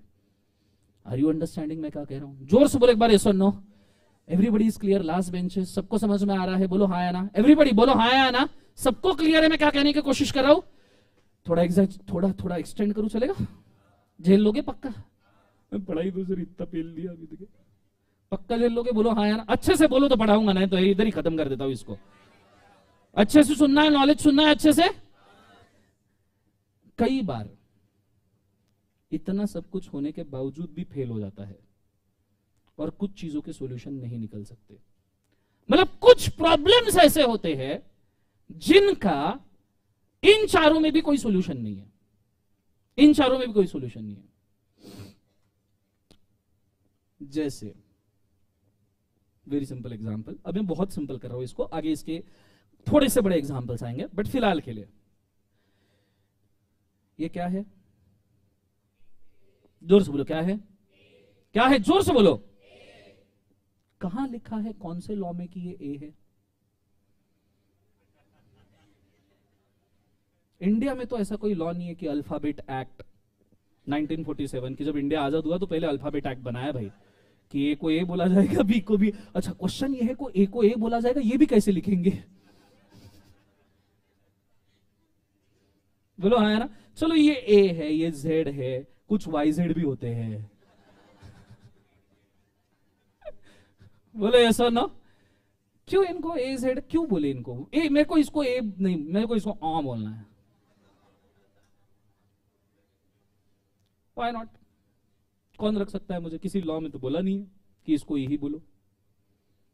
कल जाके मेरे को एक नया लेटर बनाना है। वही मैंने आज ऑय ऑय करना शुरू कर दिया। मेरा सुनकर तुमने भी ऑय ऑय करना शुरू कर दिया। परसों पूरे पूना में ऑय ऑय न्यूज़पेपर में छाप दिया प्रेस्टीज पॉइंट पर नया लेटर आया है ऑय ऑक्सफर्ड डिक्शनरी ने इंक्लूड कर दिया भाई ऑय तो क्या ये लेटर बन सकता है? एवरीबडी प्लीज़ टेल मी क्या ये लेटर बन सकता है? हाँ या ना? तो एक चीज़ याद रखना, जहाँ कोई टेक्स्ट काम नहीं करता मतलब ऊपर के चारों चीज़ों में से कोई भी टेक्स्ट काम नहीं करता, वहाँ काम करता है कस्टम वहाँ क्या काम करता है? कस्टम कस्टम मीन्स व्हाट युगो युगो से, जन्मों जन्मों से लोग जिस चीज़ को मानते आ रहे हैं, उसको मानते चलिए। एक और सब लोग ए बोल रहे हैं, तुमने भी एज बोलना है। जेड को जेड बोल रहे हैं, तुमने भी जेड बोलना है। Otherwise you are Y Z concept समझ में आ रहा है सबको? हाँ है ना? ज़ोर से बोले नो इसका एक और एग्ज़ाम्पल देता हूँ मैं, क्योंकि ये मेरे को सवाल आएगा, खास करके उन लोगों के लिए। ये मेरे को सवाल आएगा। सर नॉर्मली आप जब कंपनी एक्ट पढ़ाते हो ना तो आप बोलते हो two subsection number six associate company two subsection number six बोलते हो सर आप सबसेक्शन पर एक्चुअली इसको बोलना चाहिए टू सब क्लॉज सिक्स क्या बोलना चाहिए? To sub clause six frankly बोलू, मैं जिसको सेक्शन बोलता हूँ ना, उसका नाम एक्चुअली कंपनीज़ एक्ट में सेक्शन है ही नहीं। उसका नाम, सभी का नाम क्लॉजेस है और उसके जो ब्रैकेट में लिखे, उनको सब क्लॉजेस बुलाता है। कंपनीज़ एक्ट के बेयर में इसको क्लॉज बुलाता है। सर मतलब तुम गलत बोल रहे हो? बोलो हाँ या ना? नहीं मैं गलत बोल रहा हूँ। तुम गलत पढ़ रहे हो? सर रिफंड आगे प्लीज़ यू अंडरस्टैंड कई बार ऐसा सिचुएशन होता है कि टेक्स्ट में भी कुछ चीज़ें लिखी होती है, पर कुछ भी आप टेक्स्ट में लिख दो अगर वो कस्टम के अगेंस्ट जा रही है, काय के अगेंस्ट जा रही है? कस्टम के अगेंस्ट तो प्लीज़ याद रखिएगा, custom will always override, reality will prevail over legality, the custom will always prevail over form. जिसे सब्सटेंस ओवर फॉर्म के नाम से आपने सुना होगा। बोलो हाँ या ना? और पिछले 250 सालों से अंग्रेज़ों ने अपने को आदत लगा दी है कि तुम नंबर में इधर कुछ भी बोलो क्लॉज सब क्लॉज फलना, ढकना पूरी दुनिया इसको सेक्शन बोलती है तो हम भी इसको सेक्शन ही बोलेंगे और ब्रैकेट में जो आएगा उसको सब सेक्शन ही बोलेंगे। इसके बाद में जो ब्रैकेट में आएँगे उसको क्लॉज बोलेंगे। उसके बाद में जो ब्रैकेट में आएगा उसको सब क्लॉज बोलेंगे। ये 250 साल से अभी तक ऐसा ही चल रहा है, एक लॉ की वजह से चेंज नहीं होगा। समझ में आया पक्का?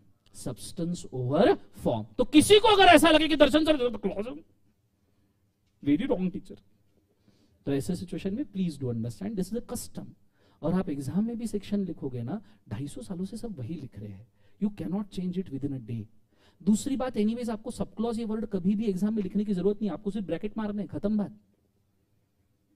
आपको लिखना भी सिर्फ़ सेक्शन लिखना है that is enough that is okay और बाद में आप टू सब टू फिर सब सेक्शन वगैरह नहीं लिखने वाले टू ब्रैकेट में सिक्स हो गया, बात खत्म।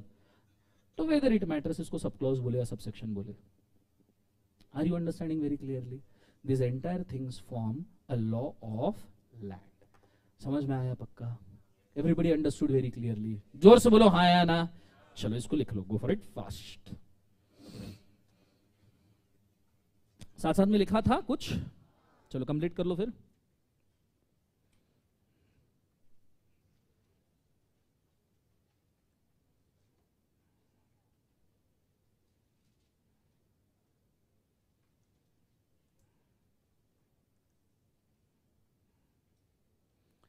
वेरी गुड लाइव स्ट्रीम में किसी को कोई दिक्कत है, कृपया पूछ लीजिए, फिर आगे बढ़ते हैं।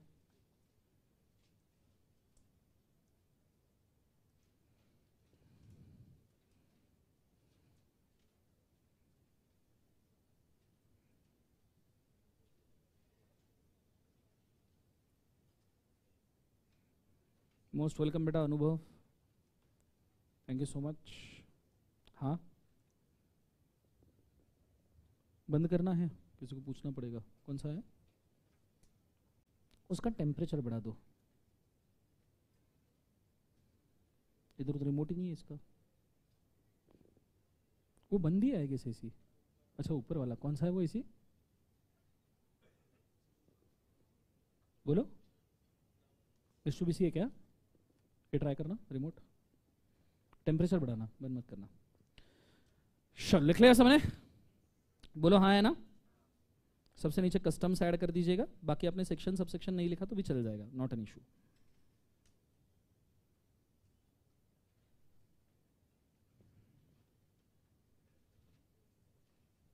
हो गया सबका बच्चों?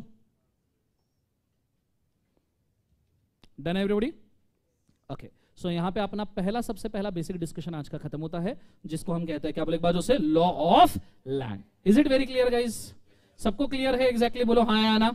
चलो, अब मैं आगे बढ़ रहा हूँ। नेक्स्ट डिस्कशन के हम तरफ़ जा रहे हैं। एंड नेक्स्ट डिस्कशन जो आता है, वो है ऑथोरिटी स्ट्रक्चर एक बार सब जन बोलिए, क्या आएगा बोले एक बार से? ऑथोरिटी स्ट्रक्चर सो पूरा ध्यान बोर्ड पे।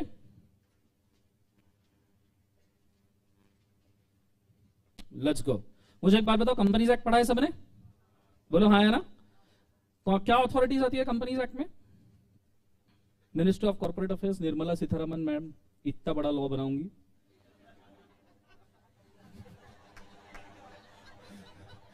So please tell me what is authority structure under companies act companies act पढ़ लिया सर ऑथोरिटी स्ट्रक्चर आरओसी सुना है? आरओसी क्या होता है ROC registrar of oh wow nice long form हाँ nice long form okay meaning क्या होता है आरओसी का। कौन सी अथॉरिटी है? जुडिशियल अथॉरिटी है एडमिनिस्ट्रेटिव अथॉरिटी है? Administrative authority what is difference between administrative and judicial authority so admin sir admin करती है जुडिशियल सर जुडिशियल होती है। बहुत बढ़िया। ओके सुनना चाहोगे शांति से? बहुत अच्छे से ध्यान दीजिएगा। देखो बच्चों तुमने अगर अथॉरिटी बिना पढ़े लॉ पढ़ लिया ना तो ये ऐसी चीज़ हो गई, बिना आत्मा के शरीर हो गया है। ना क्योंकि without authority law is just a text निबंध। बाकी उसका कोई इफ़ेक्ट नहीं है ज़िंदगी के अंदर। विदाउट अथॉरिटी लॉ का कोई मकसद ही नहीं है। मैंने आपको कल ही बोला था ट्रैफ़िक सिग्नल से ट्रैफ़िक पुलिस को हटा दो। सिग्नल गया। अरे बोलो ना हाँ या ना? और इंडिया में सिग्नल के तो इंटरप्रिटेशन अलग अलग लिए जाते हैं भाई। ग्रीन मतलब गो ऑरेंज मतलब लेट्स गो फास्ट रेड मतलब इफ़ देर इज़ नो मामू लेट्स गो तो मुझे एक बात बताओ, अगर ट्रैफ़िक सिंपल सी बात है, भैया इनकम टैक्स में असेसिंग ऑफिसर नहीं है, कोई टैक्स पे नहीं करेगा। ट्रैफ़िक सिग्नल पे ट्रैफ़िक पुलिस नहीं है, कोई लॉ फॉलो नहीं करेगा, सब जन रूल्स तोड़ेंगे। तो उसी प्रकार कंपनीज़ एक्ट में अगर कोई अथॉरिटी नहीं है तो कंपनीज़ एक्ट चल पाएगा क्या ज़ोर से बोले एक बार, नहीं। And that is why authority structure के लिए बहुत अच्छे तरीके से ध्यान दीजिएगा। Ministry of Corporate Affairs, chaired by Nirmala Sitharaman ma'am, is further divided into two parts. First part is Administration and Control Authority and second part is Judicial Authority. Normally her law, 99% of law, this is not just about the Companies Act, please do understand very clearly. This is not just about Companies Act. Every single law of this nation, 99.99% laws, basically divided into two different authorities. One is administration, second is judicial. Sir ये administration authority क्या होता है administration authority का बहुत simple मतलब है जो law को इंप्लीमेंट करता है एक बार सब जन बोलो क्या बोलना है जो लॉ को क्या करता है इंप्लीमेंट जुडिशियल अथॉरिटी का मतलब क्या होता है जो डिस्प्यूट्स को रिजॉल्व करता है झगड़े हो गए फाइट हो गया केस लिटिगेशन हो गया। जो रिजॉल्व करेगा, उसे हम क्या कहेंगे? Judicial authority are you understanding अरे बोलो हाँ या ना? सबको समझ में आ रहा है? तो एडमिनिस्ट्रेशन अथॉरिटी में सबसे सबसे अपेक्स अथॉरिटी आती है मिनिस्ट्री ऑफ़ कॉर्पोरेट अफेयर्स के नीचे। दैट इज़ रीजनल डायरेक्टर सुना होगा regional directors okay regional director for the active companies and regional director के नीचे आरओसीज लेकिन अगर ये कंपनीज़ डिफंक्ट है लिक्विडेटेड है या वाइंडिंग अप वाली है तो उसके लिए लिक्विडेटर उसके लिए क्या बोले? एक बार उसे लिक्विडेटर सर ये सुनने में बहुत अच्छा लगा, पर थोड़ा सा ऐसे लिटिल लिटिल समझाओ ना। मतलब थोड़ा सा समझ में आया सर पर वो ऐसे घुसा नहीं अंदर। तो थोड़ा सा समझाओ ना। मुझे एक बार बताओ इंडिया में कंपनीज़ कितने गाइस बहुत वाह, क्या जवाब हाँ? कितने कम? बहुत सारे हैं सर वो मेरे को पता ही नहीं था, इतना ज्ञान है। कितने कंपनी इंडिया अच्छा बॉम्बे स्टॉक एक्सचेंज के ऊपर कितने कंपनी लिस्टेड है? रफली पाँच हज़ार। कहना ऐसे बोलो हाँ है ना? National stock exchange three thousand के आसपास? बोलो हाँ या ना? तो इंडिया में टोटल कंपनीज़ कितने दस, एक हज़ार होंगी सर इधर पाँच हज़ार, छह हज़ार। उधर तीन हज़ार। टोटल मिला के नौ हज़ार। एक हज़ार ऊपर पकड़ लो। दस, एक हज़ार। बोलो हाँ इंडिया में आज के डेट में 15 lakh thirty thousand plus companies registered है। ठीक? You can Google this down not an issue पर आपको एक खास बात बताओ पूछो क्या है? ज़ोर से पूछो क्या है? जब कंपनीज़ एक्ट 2013 आया ना, उस साल रिकॉर्ड इंडिया में डेढ़ लाख कंपनीज़ बनी थी एक साल में। डेढ़ लाख एक साल में पर क्वार्टर फोर्टी थाउज़ेंड कंपनीज़ समझ में आ रहा है? चलो ये नंबर उस साल सबसे ज़्यादा होगा डेढ़ लाख। कैन आई से 75 ईयर्स में ऑन एन एवरेज एक लाख कंपनी पर ईयर बनी होगी। आफ्टर 90s हर साल डेढ़ लाख कंपनी बनी है। बिफोर 90s लेट्स से एक लाख के नीचे कंपनी बनी है। तो कहना इसे ऑन एन एवरेज एक लाख कंपनी हर साल बनी है। बच्चों, बोलो लास्ट बेंचेस ध्यान दो। कहना इसे one lakh company on an average बनी है? बोलो हाँ या ना? तो मुझे बताओ, आज तक के एक लाख कंपनी हर साल बनी है तो टोटल नंबर ऑफ़ कंपनीज़ कितनी एग्जिस्ट होनी चाहिए? सेवेंटी फाइव लैक्स अरे बोलो, ये सो नो चलो पेसिमिस्टिकली जाते साठ लाख। सिक्सटी लैक्स तो भी होनी चाहिए। बोलो, ये सो नो है कितनी? पंद्रह लाख, तीस हज़ार। तो कहना ही से फोर्टी फाइव लैक्स कंपनीज़ उड़ गई? बोलो हाँ या ना? आपको बताओ ऑफिशियल रिव्यू है। ये ऑफिशियल रिव्यू की एक्चुअली ज़रूरत भी नहीं है। ये लाइफ का प्रिंसिपल समझ लो। एक छोटा सा गुरु मंत्र। कोई भी चीज़ अगर हज़ार दिन टिक जाए ना कोई भी डिसिप्लिन अगर हज़ार दिन फॉलो हो जाए ना तो लाइफ टाइम के लिए कंटिन्यू रहता है। मिनिमम अगले टेन ईयर्स तक वो चलता जाएगा। अगर पहले हज़ार दिन अच्छे से चल जाए, सब स्ट्रगल पार करके।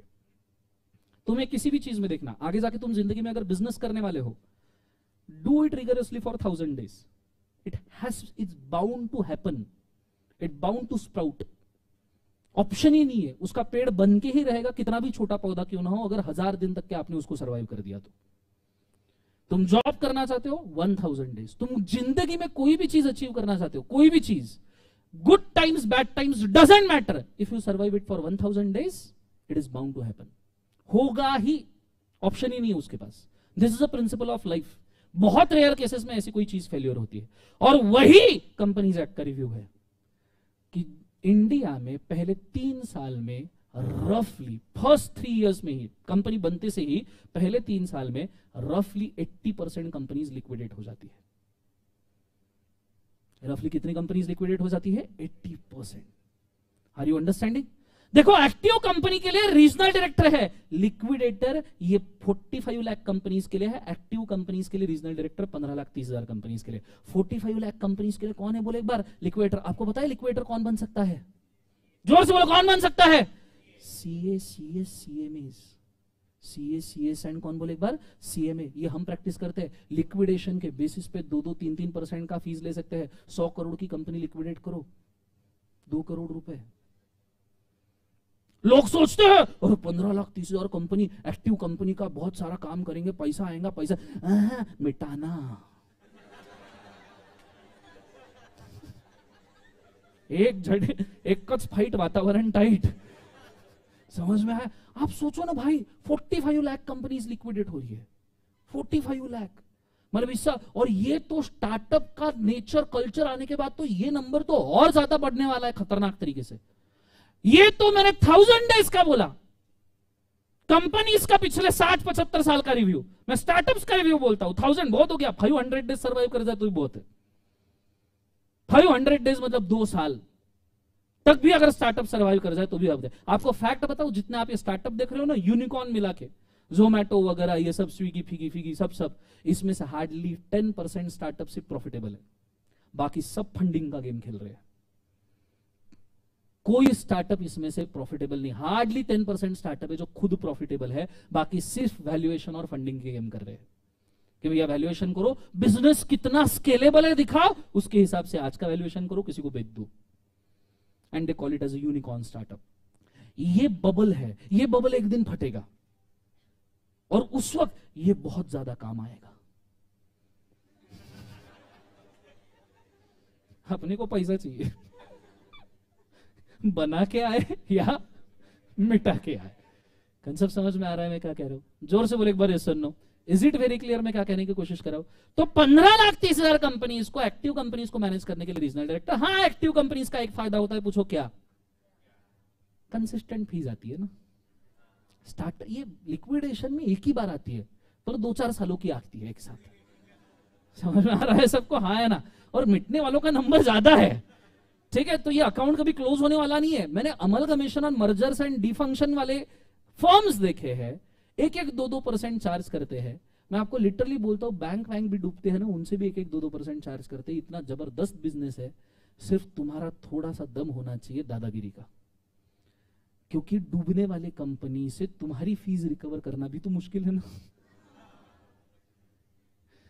Is it very clear yes no तो ये बहुत अच्छा स्केलेबल बिज़नेस है और इंडिया में मस्त चलता है। इसके लिए पता है इंडिया में नया लॉ ला लिया है। इंसॉल्वेंसी बैंकरप्सी कोड उस इंसॉल्वेंसी बैंकरप्सी कोड में एक सर्टिफिकेशन मिलता है इंसॉल्वेंसी प्रोफेशनल आईपी करके। ये सर्टिफिकेशन वो किसको देते हैं पता है? C S C S C M A को। After being chartered accountant you give one single exam of insolvency bankruptcy code you become insolvency professional और आपको इस एक्ट के तहत केसेस अलॉट किए जाते हैं। ये तुम्हारे self pace assessment C A final level पे आने वाला है। पूरा का पूरा law insolvency bankruptcy code concept समझ में आ रहा है, सबको हाँ ना। तो यही लोगों को हम क्या कहते हैं? बोले, एक बार लिक्विडेटर डूबने वाले कंपनीज़ के एडमिनिस्ट्रेटर्स अच्छा इनका नंबर वेरिएबल है, हा? इनका नंबर क्या है? वेरिएबल जो चार्टर्ड अकाउंटेंट बनना चाहता है, बने। रोक कौन सकता है भाई? क्लियर है कंसेप्ट सबको हाँ ना? ज़ोर से बोले सुनो एवरीवन इज़ अंडरस्टैंडिंग पर जो एक्टिव कंपनीज़ है, उनके लिए रीजनल डायरेक्टर्स है, और ये रीजनल डायरेक्टर फिक्स है सेवन पूरे इंडिया में सात रीजन डिवाइड किए हैं, और कितने डायरेक्टर है? सब जन बोलेंगे, कितने हैं? सेवन और पूरे इंडिया में ये सेवन रीजनल डायरेक्टर सात रीजनल डायरेक्टर पंद्रह लाख तीस हज़ार कंपनी बहुत ना इंसाफी है। दैट्स वाई नीचे आरओसीज देके रखा और इंडिया में आरओसीज है पच्चीस। 25 सर ये भी तो ना इंसाफ है 28 states 8 union territories 36 25 ROC sir कम ज़्यादा नहीं होगी जरा? उसमें भी खास बात बताओ। पूछो क्या? महाराष्ट्र में ही दो आरओसी है। और तमिलनाडु में दो, महाराष्ट्र में दो आरओसी एक, मुंबई एक, पुणे। सच्ची, तुम्हारी कसम। तो अगर ये दो स्टेट ही चार आरओसी लेके चली गई तो बच्चे कितने? इक्कीस। कितने बच्चे states thirty two thirty two states के लिए इक्कीस आरओसी है सिर्फ़। रजिस्ट्रार ऑफ़ कंपनीज़ सर क्या मतलब पाँच छह स्टेट मिला के एक आरओसी हो सकता है? बिल्कुल। आसाम, मेघालय, मणिपुर, मिजोरम, त्रिपुरा, नागालैंड, अरुणाचल प्रदेश। एक आरओसी समझ में आ रहा है? बिहार झारखंड। ऐसे मिक्स करके भी आरओसी हो सकते हैं। सर, इतना सब कुछ ज़ोर ज़ोर से चिल्ला रहे हो? अगर आप इनको दिखा सकते हो तो कृपया दिखा दो, sir, please. Show this is the website of ministry of corporate affairs इसके ऊपर कैसे जाते हैं? गूगल पे जाते हैं सबसे पहले। वहाँ लिखते हैं MCA dot G O V dot in ministry of corporate affairs government of India उसके बाद में जो पहला लिंक खुलेगा, बिना रिस्क लिए इसके ऊपर क्लिक कर देने का। ज़्यादा कुछ ढूँढने का नहीं। और फिर मित्रों, इस वेबसाइट के ऊपर आपको वो चीज़ें मिलेगी जो आपको देखने नहीं है। अगर आप इस वेबसाइट के ऊपर आओगे तो यहाँ पे कॉन्टेक्ट का ऑप्शन दिख रहा है, दिख रहा है सबको? अरे बोलो मेरे प्यारे भाइयों और उनकी बहनों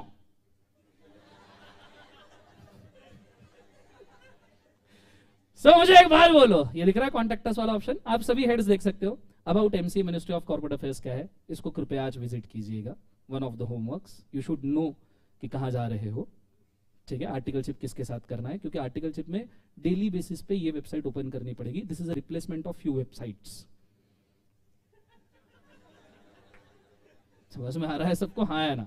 दूसरा एक्ट एंड रूल्स कि इसके अंदर कितने एक्ट और रूल्स है then my work place my application अगर आपने कोई एप्लीकेशन डाला है कंपनी का आरओसी का, किसी का भी तो यहाँ दिखेगा।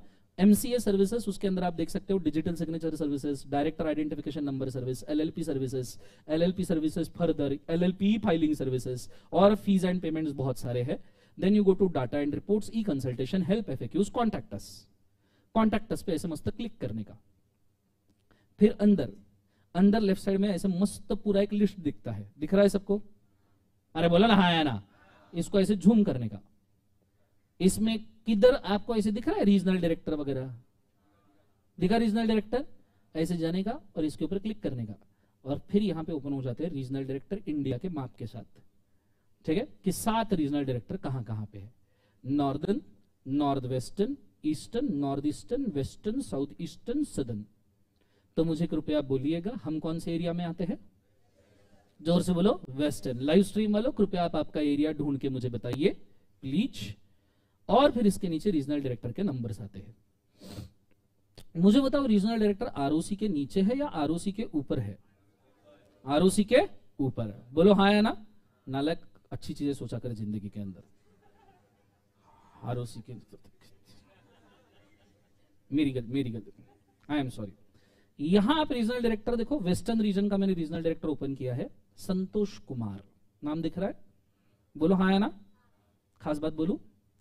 He was a head of Mumbai ROC in the last term इन्होंने पहले मुंबई आरओसी गवर्न किया है और फिर इन्होंने वेस्टर्न रीजनल डायरेक्टर का ऑफ़िस बेयरिंग किया है। That means he is being promoted from Mumbai ROC हालाँकि मुंबई आरओसी वाला पर्सन ही हमेशा रीजनल डायरेक्टर बनता है वेस्टर्न रीजन का। पूछो क्यों? क्योंकि इंडिया का इकोनॉमिक कैपिटल मुंबई है और देश में सबसे ज़्यादा कंपनीज़ कहाँ पे है? मुंबई में है। दैट्स वाई महाराष्ट्र में भी दो आरओसीज है। मुंबई रीजन के लिए बहुत स्पेशल आरओसी और पुणे रीजन के लिए बचे हुए एरिया का ROC so that Mumbai ROC को कोई डिस्टर्ब ना कर पाए। क्योंकि सबसे ज़्यादा कंपनीज़ कहाँ पे रजिस्टर्ड है? मुंबई। समझ में आ रहा है पक्का? ज़ोर से बोलो ऐसा नो ये चीज़ को याद रखिएगा। फिर उसके बाद में आप अगर जाओ तो रजिस्ट्रार ऑफ़ कंपनीज़ के ऊपर जा सकते हो। आरओसीज 25 आरओसीज इंडिया में है। सबके यहाँ पे बोल के रखे हैं। यहाँ मैं नाम पढ़ता हूँ सिर्फ़। जैसे मैंने आपको पाँच सात स्टेट का एक साथ बोला।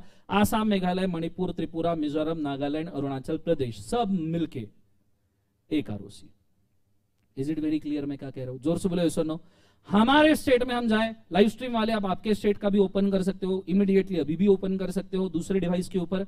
आप अगर आ जाओगे तो नीचे महाराष्ट्र है, और महाराष्ट्र में दो उन्होंने चीज़ें की है, एक मुंबई और एक पुणे, और हम जाते हैं पुणे आरओसी की तरफ़। मुंबई आरओसी का भी नाम देख लो, क्योंकि जब तक तुम आर्टिकल शिप में जाओगे, हो सकता है ये बंदा रीजनल डायरेक्टर बन जाए।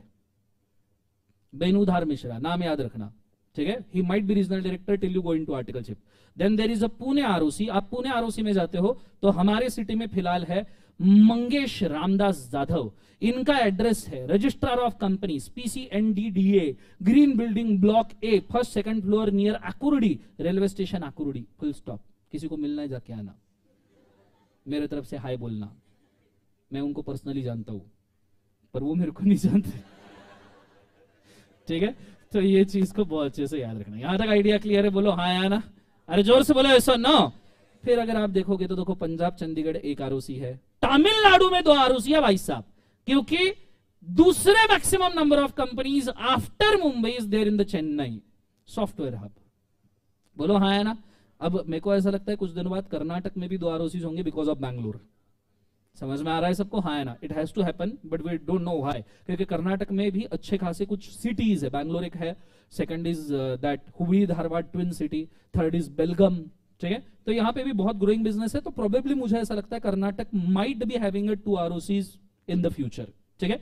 इस प्रकार से बचे हुए सभी स्टेट्स के आरओसीज बोले हैं। You can search and you can finalise them कि आपका आरओसी कौन सा है। Then there is a list of official liquidators ये जैसे मैंने बोला वेरिएबल है चार्टर्ड अकाउंटेंट्स या CA firms normally official liquidator बनते हैं। सो so, अगर आप ऑफिशियल लिक्विडेटर देखो उन्होंने फ़िलहाल इतने बोले पर गारंटी नहीं है इतने रहेंगे कभी भी चेंज हो सकते हैं। ठीक है? इनका नंबर कम ज़्यादा होते रहता है कौन कौन अवेलेबल है कौन कौन अवेलेबल नहीं है इसके हिसाब से। Is it very clear guys ज़ोर से बोले सर नो ये सभी को कौन सी ऑथोरिटीज कहा जाता है बच्चों? एडमिनिस्ट्रेशन एक बार ज़ोर से बोलो, कौन सी कहा जाता है? एडमिनिस्ट्रेशन एक बार और बोलो, क्या बोला जाता है? एडमिनिस्ट्रेशन और दूसरी अथॉरिटीज आती है जुडिशियल ज़ोर से बोलो, कौन सी बोले एक बार? जुडिशियल जुडिशियल अथॉरिटी में मतलब डिस्प्यूट सॉल्विंग अथॉरिटी जिसके अंदर सबसे पहले आता है एनसीएलटी एक बार सब जन बोलो, क्या आता है? एनसीएलटी एनसीएलटी का लॉन्ग फॉर्म पता है? The national company law tribunal एक बार वापस से बोलो, क्या बोलना है? नेशनल कंपनी लॉ ट्रिब्यूनल उसके बाद में आता है NCLT national company law appellate tribunal अगर एनसीएलटी के खिलाफ अपील करना है तो ठीक है? आपको हायर कोर्ट में जाना है, तारीख पे तारीख तो एनसीएलटी और एनसीएलटी के बाद आता है स्ट्रेट अवे सुप्रीम कोर्ट एक बात अभी गार्ड बाँध लेना, मैं आपसे लिखवाऊँगा अभी। हाँ बोलो। कंपनीज़ एक्ट में हाई कोर्ट नहीं होता। एक बार वापस से बोलो। कंपनीज़ एक्ट में हाई कोर्ट नहीं होता। लाइव स्ट्रीम वाले सब कमेंट करेंगे। कंपनीज़ एक्ट में हाई कोर्ट नहीं होता। एक बार वापस बोलो। हाई कोर्ट नहीं होता। एक बार विजय सर के लिए। एक बार एडिजेड सर के लिए। एक बार आरजे के लिए। एक बार यशवंत सर के लिए। और एक बार मुझे से ऑफ़िस बॉय के लिए। समझ में आया पक्का? ज़ोर से बोलो यशवन नो। ये मरने के बाद भी, जरने के बाद भी, कबर के अंदर भी याद रखना। कभी अगर मैं तुम्हारे कबर से गुजरू। हाँ सच में। ठीक है I was going to leave long पहले ही बता रहा हूँ। बहुत दुआ है मेरे साथ में। ठीक है? कभी मैं तुम्हारे कब्र से गुजरू और, ए, उठे, ए, उठ। तुमने ऐसे उठने का मैं बोलेगा, कंपनीज़ एक्ट में। तुमने बोलेगा, हाई कोर्ट नहीं होता, वापस सो जाने का। अच्छा लगा तो साइड में मैं सोएगा, मिट्टी खुद के ऊपर ले लेगा। समझ में आया सबको?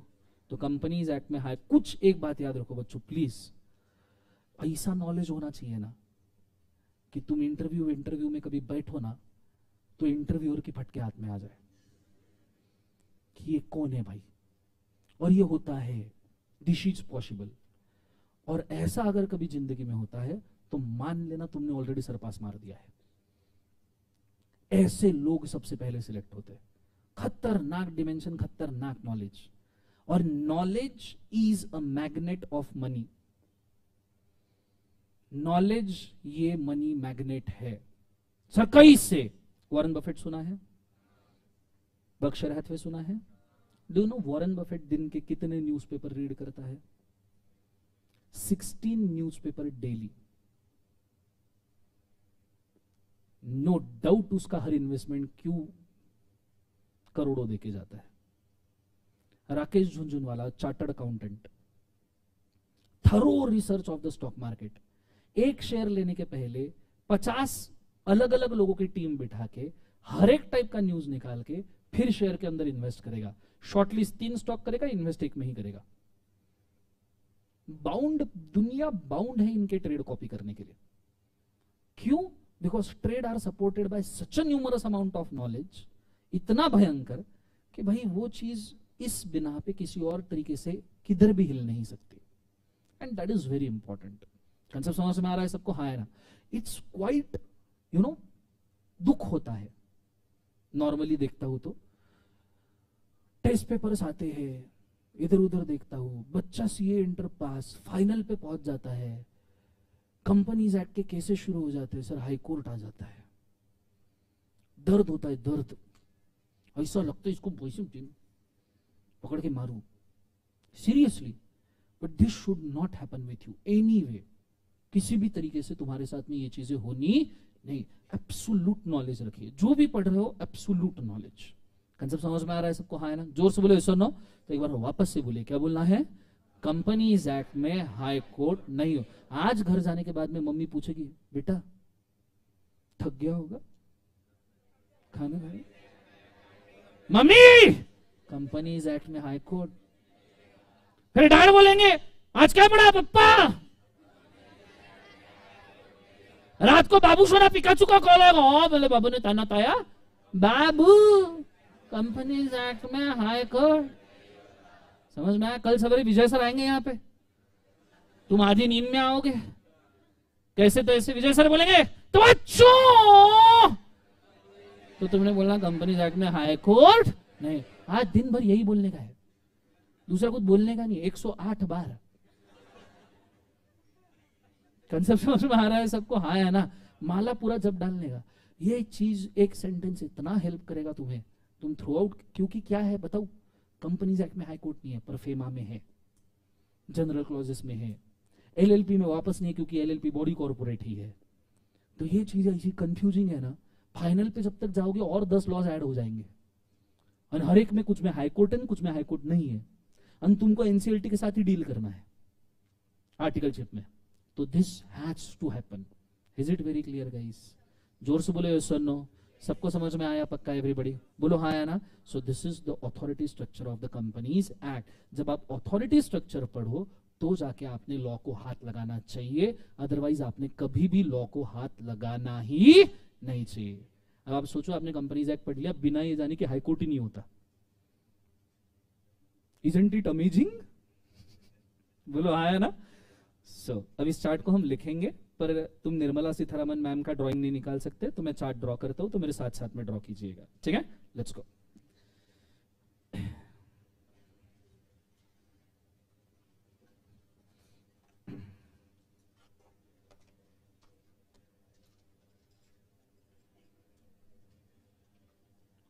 चलो are you guys ready so authority structure authority structure are you guys ready बच्चों, सब रेडी है? बोलो मुझे ऑथोरिटी स्ट्रक्चर में सबसे पहले कौन आएगा? सेंट्रल गवर्नमेंट कौन आएगा बोले एक बार? सेंट्रल गवर्नमेंट सेंट्रल गवर्नमेंट मतलब पता है? कौन? मोदी नहीं रे। कैसी ज़िंदगी हो गई है तुम्हारी? मोदी जी तो है ही प्राइम मिनिस्टर है। सेंट्रल गवर्नमेंट भारत सरकार जिसको यूनियन ऑफ़ इंडिया कहा जाता है UOI union of India republic of India बोलो तो भी चलेगा। यूनाइटेड स्टेट्स मत बोलना सिर्फ़। क्लियर है कंसेप्ट सबको? ये नो यूनियन ऑफ़ इंडिया में how many ministries thirty five ministries ठीक है? स्पेलिंग को इग्नोर करना मेरे, जरा। With how many ministers twenty eight ministers ministry का स्पेलिंग सही है क्या मेरा? है हाँ, सच में? अरे वाह। सो थर्टी फाइव मिनिस्ट्रीज कितने मिनिस्टर्स बोले एक बार उसे ट्वेंटी एट मिनिस्टर्स हमारे काम की मिनिस्ट्री कौन सी है? Ministry of corporate affairs minister कौन है? निर्मला मैम। पहले इसके सचिन पायलट थे 2013 में जब पास हुआ। ये सुनो। Ministry of corporate affairs further divided into how many parts बच्चों? दो। पहले वाले पार्ट को हम ज़िंदगी में क्या बोलते हैं? Administration authority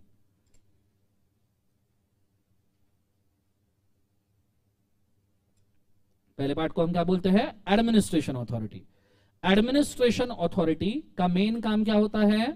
Implementation of law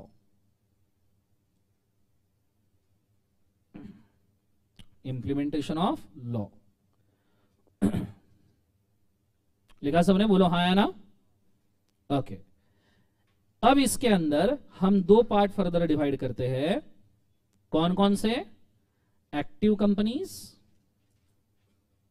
active companies अलग से।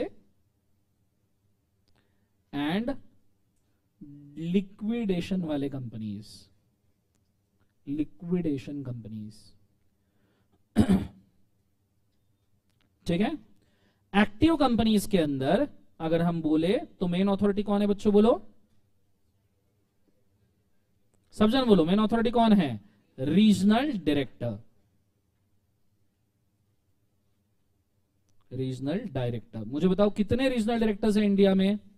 सेवन रीजनल डायरेक्टर्स ठीक है?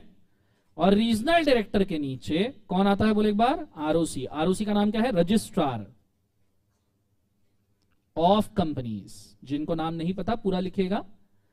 मेनली हो सकता है डायरेक्ट एंट्री वाले, आपको शायद नहीं पता होगा, सो पूरा लिखेगा आरओसीज कितने आरओसीज है बच्चों? ट्वेंटी फाइव पच्चीस आरओसीज है। ठीक है? बोलो हाँ है ना? ओके लिक्विडेशन के अंदर, अगर हम बोले तो कौन होता है? ऑफिशियल लिक्विडेटर ऑफिशियल लिक्विडेटर इसका नंबर कैसा है? वेरिएबल इसका नंबर है variable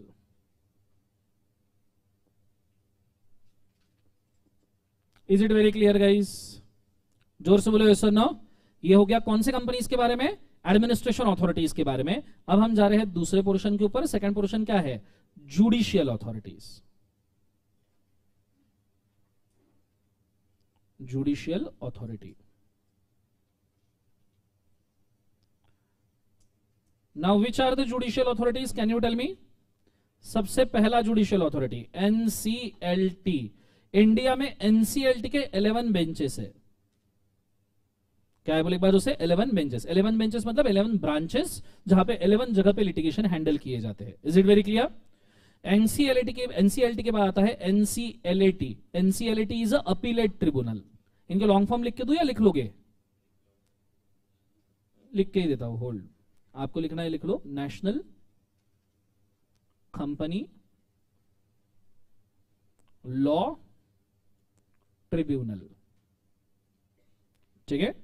एनसीएलटी एनसीएलटी के बाद में कौन आता है? एनसीएलएटी इसको अपीलेट ट्रिब्यूनल कहते हैं।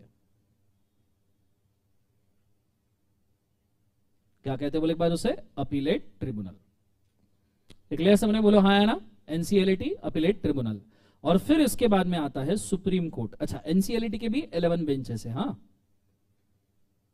और फिर कौन आता है? Supreme court. इंडिया में सुप्रीम कोर्ट कितने हैं? एक ही होता है हाँ। इसलिए उसको सुप्रीम कहा जाता है। समझ में आया पक्का? नीचे क्या स्टेटमेंट लिखना है बोलो? बच्चों कंपनीज़ एक्ट में हाई कोर्ट नहीं होता। समझ में आ रहा है? ये कोई भूल गया तो मैं उसे पचास पचास बार लिखवाऊँगा, याद रखना।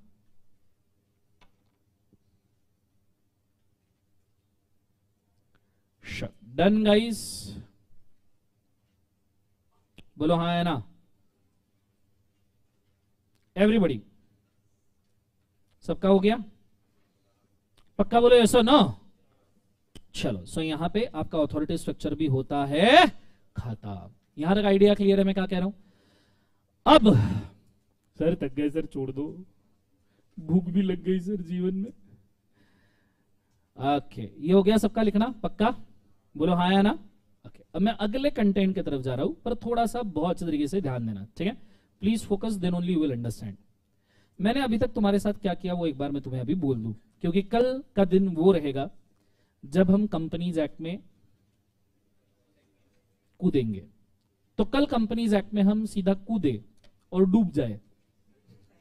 उससे पहले मैं ये बोल दूँ कि हम अभी तक आपके साथ क्या किए हैं। किसी भी लॉ को शुरू करने के पहले, मैं इस चीज़ को खास करके बोलता हूँ बी फोर लॉ एक बार सब जन बोलो, क्या बोलना है? बी फोर लॉ कोई भी लॉ शुरू करने के पहले चार चीज़ें आपने पढ़नी चाहिए। कितनी चीज़ें आपने पढ़नी चाहिए? चार। सबसे पहली चीज़ पढ़नी चाहिए हिस्ट्री क्या पढ़नी चाहिए बोले एक बार उसे हिस्ट्री क्या हमने कंपनीज़ एक्ट का हिस्ट्री देखा थोड़ा बहुत? स्टोरी के अंदर कब आया कैसे आया कितने बिल्स थे कौन कौन कमिटीज थे देखा? नहीं देखा? चलो तो हिस्ट्री थोड़ा बहुत देखा आगे भी और आएगा टेंशन लेने की ज़रूरत नहीं है। दूसरा आपने देखना चाहिए कॉन्स्टिट्यूशनल वैलिडिटी कॉन्स्टिट्यूशनल क्या एक बार validity what is constitutional validity constitutional validity का नंबर मतलब ये है हम्म, चलो एक केस लेते हैं। दो मिनट के लिए, ठीक है? तो समझ में आएगा। लेट्स गो नाम क्या बोला? साया। साया सीए करने आया है। तुमने सीए करने का डिसीज़न क्यों लिया? पैसा। इज़्ज़त। बोलो हाँ है ना? पर साया को इसमें सिर्फ़ पैसा चाहिए था। सो साया ने सीए कंप्लीट किया। बोले, करोड़ों कमाऊँगा। पर करोड़ों मिला नहीं। फिर साया सोचा कि यार बिज़नेस करता हूँ बिज़नेस करके भी नहीं मिला प्रैक्टिस करके भी नहीं मिला। तो फिर साया ने सोचा क्यों ना मैं फ्रॉड ही कर दूँ? क्योंकि फ्रॉड करने वाला तो कंफर्म कमाता है। तो साया ने एक दिन पाँच दस हज़ार करोड़ का फ्रॉड ठोक दिया। ठीक है? चार्टर्ड अकाउंटेंट था इतना कैपेबल तो है। अरे बोलो ना आया ना? सो साया ने पाँच दस हज़ार करोड़ हज़ार करोड़ हाँ, कम नहीं। आजकल ट्रेंड ही हज़ार करोड़ में शुरू होता है। हज़ार करोड़ का फ्रॉड देश के बाहर भाग जाने का। सो साया ने पाँच छह हज़ार करोड़ का फ्रॉड कर दिया और साया ने पाँच छह हज़ार करोड़ का फ्रॉड करने के बाद में एक गलती कर दी है देश में ही रह गया। ये देश में रह गया। निर्मला मैम को पता चल गया कि इसने कंपनी के मामले में लूट लिया सब लोगों को। निर्मला मैम जी साया के ऑफ़िस में पहुँच गई। सीआईडी को लेके। ठीक है? सामने वॉचमैन खड़ा था ऑफ़िस के। निर्मला मैम बोलती है, वो किधर है? वो फ्रॉडस्टर किधर है? तो बोले, अंदर केबिन में सेक्रेटरी के साथ। निर्मला मैम बोले, उसको बाहर बुलाओ। बोले, अभी नहीं आ सकते। बहुत बिज़ी है। बहुत क्या है, बोले एक बार बिज़ी है। निर्मला, ऐसे कैसे? बाजू में हटा दिया। अंदर गए। दरवाज़ा खड़का, ठक ठक ठक साहब बोले, कौन है? बोले, मैं निर्मला मैम हूँ। आपने फ्रॉड किया है। वो तो बोले, पहले किया था, अभी तो मैं कुछ और कर रहा हूँ। तो फिर निर्मला मैम बोले, जल्दी दरवाज़ा खोलो। हम आपको अरेस्ट करने आए हैं। साहब बोलता, मैं नहीं आ रहा बाहर. तो फिर निर्मला मैम दया को बोलती है, दया, दरवाज़ा तोड़ दो, डिशाम। दरवाज़ा तोड़ के देखते हैं तो क्या ही भगवान? अरे आई मीन टू से पैसा ही पैसा। क्या बोले, एक बार से पैसा, ऐसा कैश इधर। और साहेब उठ के एकदम कोट पहनने लग जाता है। कोट है, शर्ट पहना हुआ है। सो साया उठ के एकदम कोट पहनने लग जाता है। साहेब बोलता है, आपने अंदर आने की ज़रूरत कैसे की? निर्मला मैम बोलती है, मैं मिनिस्ट्री ऑफ़ कॉर्पोरेट अफेयर्स की चेयरमैन हूँ। खुद पर्सनली आई हो तुमको पकड़ने के लिए पाँच छह हज़ार करोड़ का फ्रॉड कर दिया, आपको शर्म नहीं आती? साहेब बोलता है इसी वजह से हम आपको जेल में डालने के लिए आए हैं। साहेब बोलता है, ठीक है, डाल देना। पहले ये एक बात बताओ कि फ्रॉड लिखा कहाँ पे है? निर्मला बोलती है, देखो ये सेक्शन 447 फॉर फ्रॉड मन से नहीं बनाया सच में ये सेक्शन है। कंपनीज़ एक्ट का 447 फॉर फॉर एक बार सब जन बोलो क्या बोलना है four forty seven four four अरे बोलो ना इतना नहीं four four forty seven four four forty seven four four forty seven four four four forty eight four four statement next section four forty eight four false so four forty seven four four four forty eight four four four forty seven four four four forty तो 447 for fraud 448 for क्या बोले एक बार false statement तो निर्मला गांधी बोलती है देखो, ये 447 for fraud तुमने फ्रॉड किया है, तुमको फ्रॉड की थ्री टाइम्स पेनल्टी लगेगी। पाँच हज़ार करोड़ का फ्रॉड पंद्रह हज़ार करोड़ पे करो, चलो। साया बोलता है, मेरे को झटक भी दिया तो भी नहीं आते। वो तो पे करने की तो बात अलग। पर पहले तुम मेरे को एक बात बताओ, ये कहा लिखा है कि 447 फॉर फ्रॉड मेरे को अप्लीकेबल है? अरे बोलो, है ना?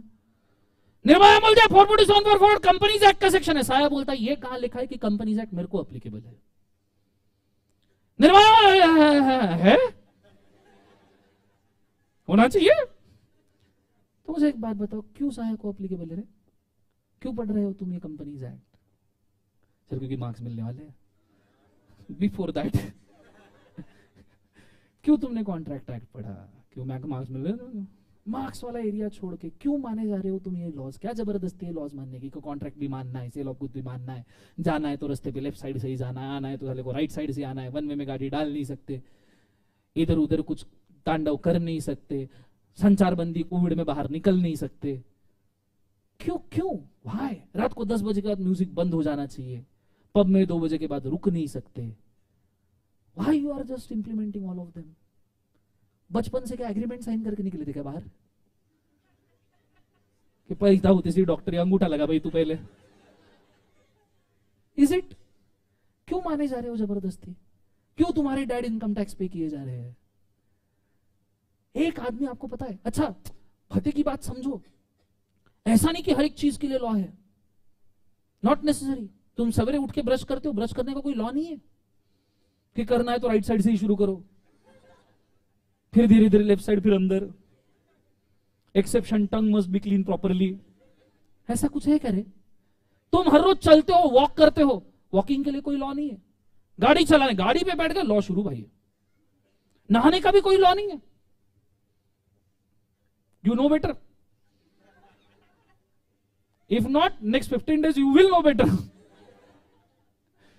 So please tell me why we are just implementing, reading, listening these laws. क्यों? This question is called as constitutional validity. कि क्यों हमने ये करना चाहिए इसका आंसर है you are a person of independent India as you are born in India you are citizen of India And if you are staying in India, you are also a resident of India. Your domicility is also Indian. So if you want to be in this territory, you are governed by Constitution of India. And Constitution of India, as gives you a right of freedom under Article number 14 to 17, it also gives you obligation that you have to live according to the laws of the land. And that's why मैंने पहले आपको law पढ़ाया कि जो बंदा 32 lakh 87,000 square kilometre के area में आता है प्लस 12 नॉटिकल माइल्स में वो हर बंदे को कॉन्स्टिट्यूशन बाउंड करता है कि उसने कॉन्स्टिट्यूशन के हिसाब से चलना चाहिए योर फ़र्स्ट कनेक्शन विथ पहला ही कनेक्शन जो आपका बन रहा है that is with the constitution and this connection is with a constitution just after you made first connection with your mother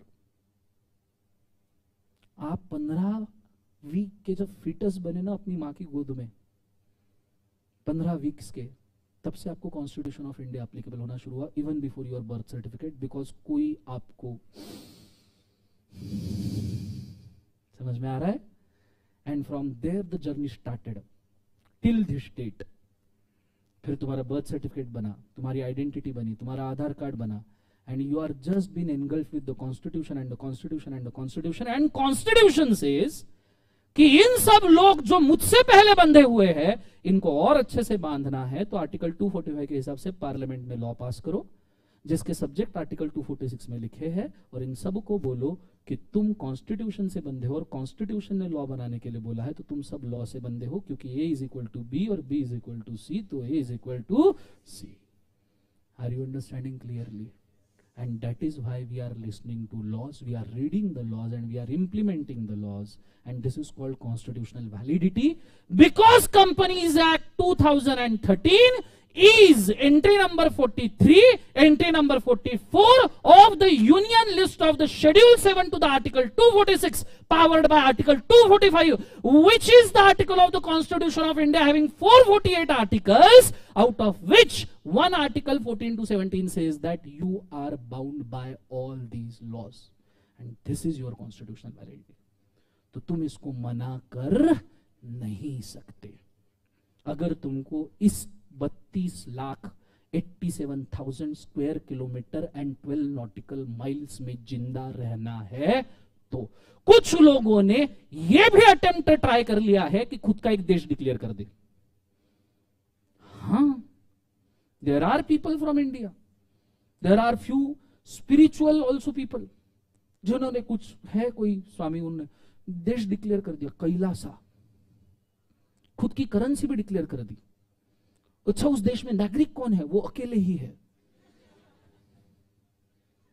या दे हैड वन टापू बेट आइलैंड खरीद लिया, उसका कॉन्स्टिट्यूशन खुद ही लिख दिया।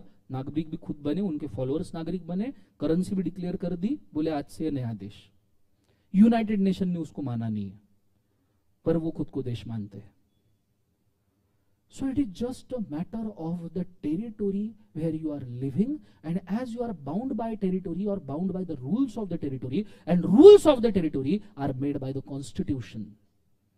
And that's why this is the constitutional validity कि तुम companies act, income tax, GST ये सब laws क्यों पढ़ रहे हो just because of only this fact कि right starting from when you are of 15 weeks in your mother's womb at that point of time these laws are applicable to you for your safety till this date.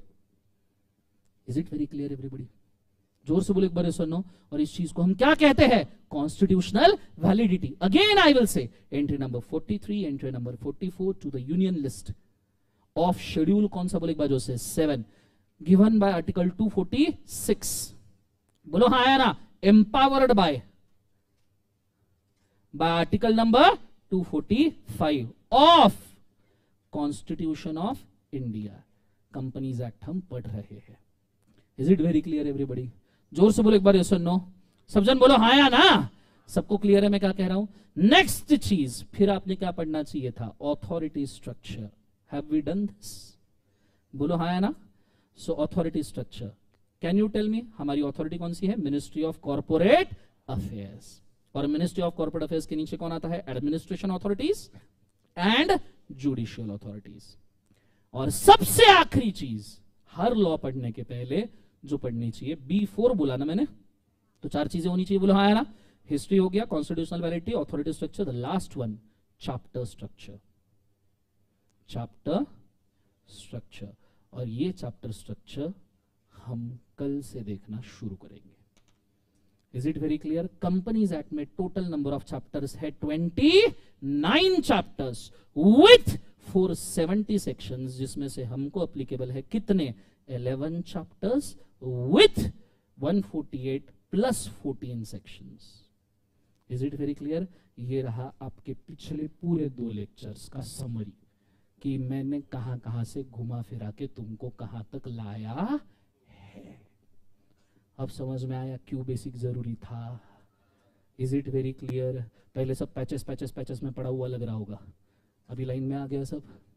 बोलो हाँ या ना? Clear है सबको मैं क्या कह रहा हूँ? बोलो ऐसा नो लिख लीजिए इसको। Go for it fast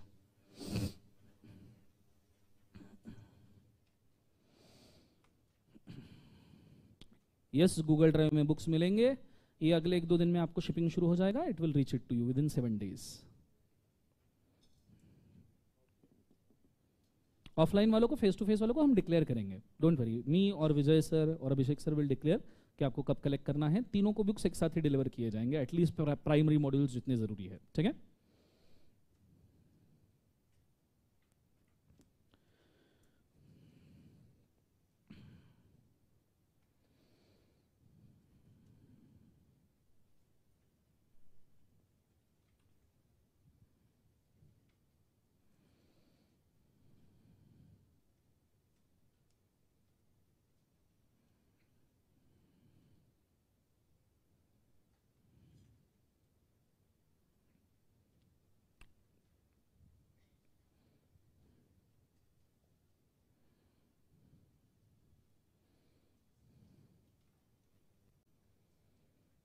शरडन guys बोलो हाँ है ना? सबका लिखना हो गया?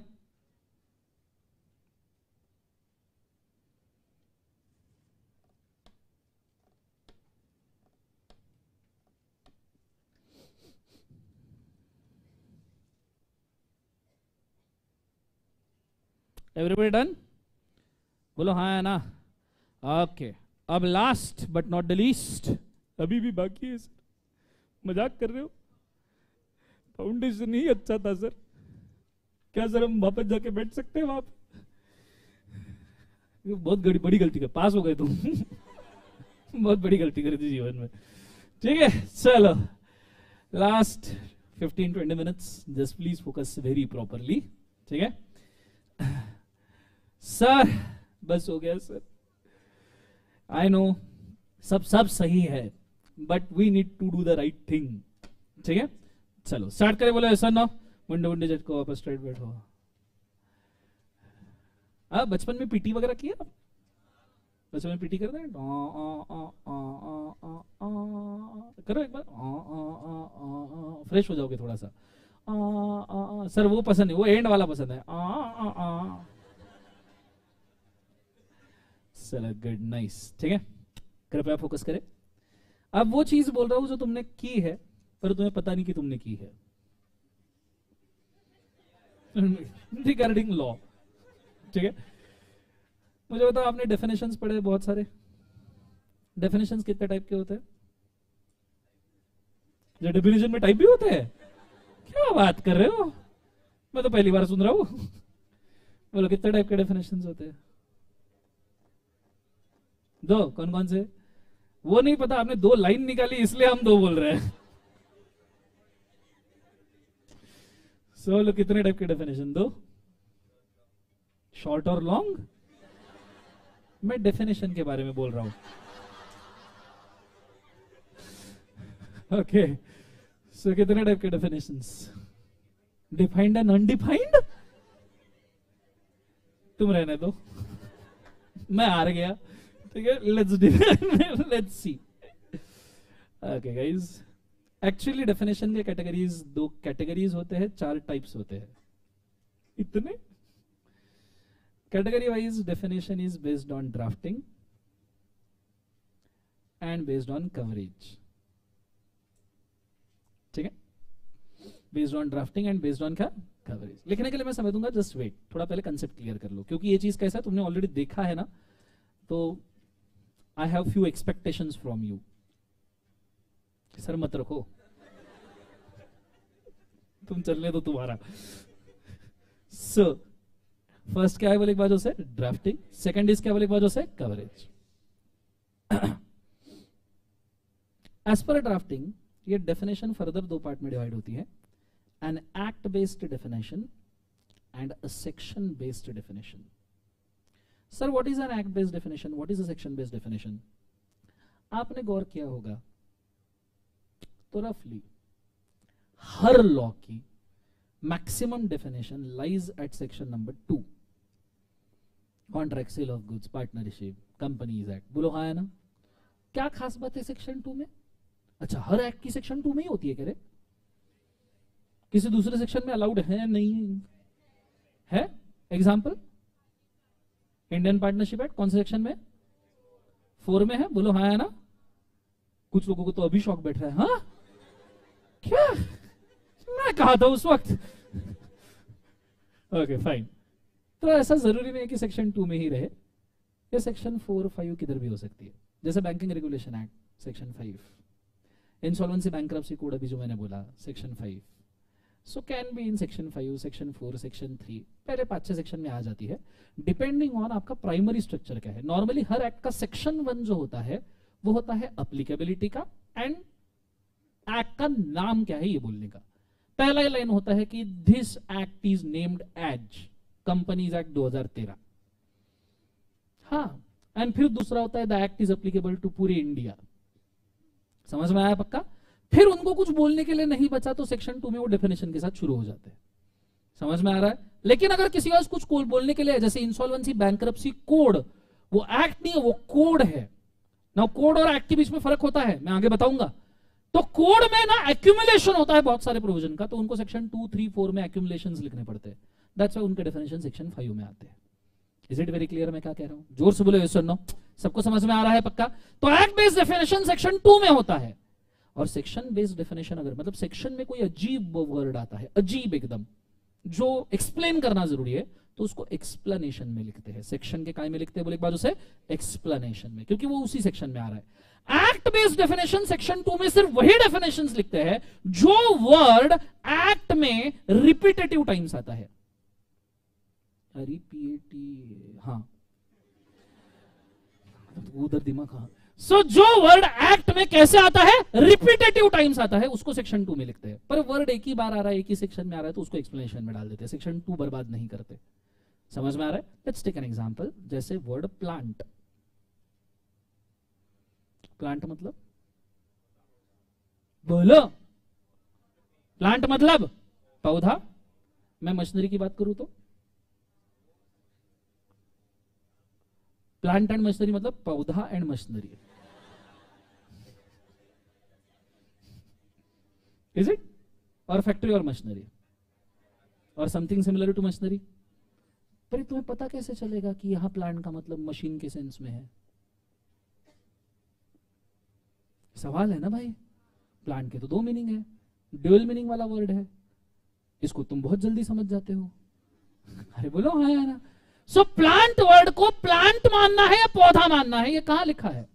For example if this is environmental protection control law किसी भी एनवायरमेंट है air pollution control act water pollution control act और उसमें प्लांट वर्ड में यूज़ कर रहा हूँ, जिस प्लांट वर्ड का मीनिंग मुझे पूरे एक्ट में पौधे के नाम से लेना है, कि भैया plant trees plant trees plant plant plant plant ठीक है? पूरे एक्ट में मेरे को प्लांट का मीनिंग पौधा चाहिए। तो जहाँ मुझे प्लांट का मीनिंग पौधा चाहिए पूरे एक्ट में I will define it in section two पर मुझे एयर पोल्यूशन कंट्रोल एक्ट में एक सेक्शन में यह बोलना है that pollution is also cause by plant and machinery अब आप सेक्शन टू में देखोगे कि pollution is cause by plant and machinery plant का मीनिंग क्या है? पौधा, पौधे से पोल्यूशन होता है।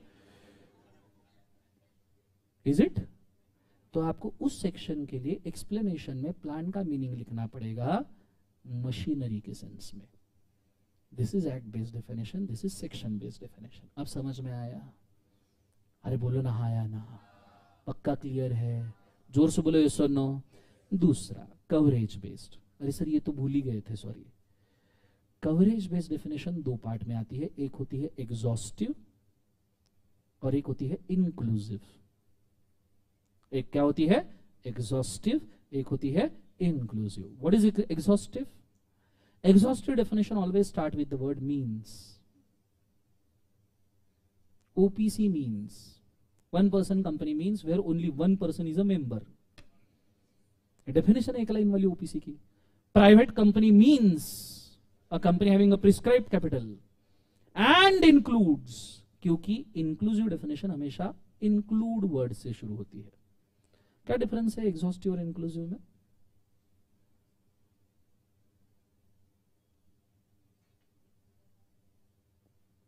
बोलो। What is exhaustive what is inclusive तुमने डेफिनेशन तो बहुत सारे पढ़ लिए। समझना चाहोगे दो मिनट के लिए? सर फ़िलहाल सिर्फ़ रोटी सब्ज़ी समझ में आ रही है। क्या खाना है? वो दिख रहा है सर। सुगंध भी आना शुरू हो गई अब तो। ध्यान दो ध्यान फोकस प्लीज़ ठीक है? वेरी इंपॉर्टेंट फोकस डेफिनेशन देखने हमको कल परसों से बेटा। ठीक है? ऐसे तो नहीं चलेगा ठीक है? प्लीज़ फोकस ये नहीं पता ना गए डेफिनेशन उड़ गए। भाई एक एक पेज के डेफिनेशन है। तुम person resident in India person resident outside India की डेफिनेशन जाओगे। दो घंटे तक एक ही डेफिनेशन चलेगी। और उसके ऊपर एग्ज़ाम में धड़ाधड़ सवाल पूछे गए धड़ाधड़, उनको मालूम है, इधर ही से मिट्टी खाते किलो किलो से। समझ में आ रहा है सबको? हाँ या ना? प्राइवेट कंपनी की डेफिनेशन तुम बोल रहे हो कि डेफिनेशन क्या? प्राइवेट कंपनी की डेफिनेशन पूछी जाती है इंटर पे। बोल के बताओ मेरे को फाउंडेशन में तो पढ़े हो तुम। Private company sir which is not public sir So please focus. What is means? It's exhaustive. What is includes is a inclusive. एक example देता हूँ will make it easy. Milk and eggs. बदला ले लो ना सर बदला भूख लगी और तुम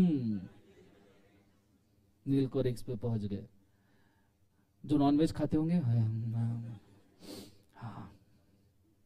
जैन लोग सॉरी ठीक है, कैसे छी छी इसका क्लास बिल्कुल नहीं लगाना। सो मिल्क और क्या बोलो एक बार ज़ोर से? एग्स मुझे बताओ वेज है या नॉन वेज है?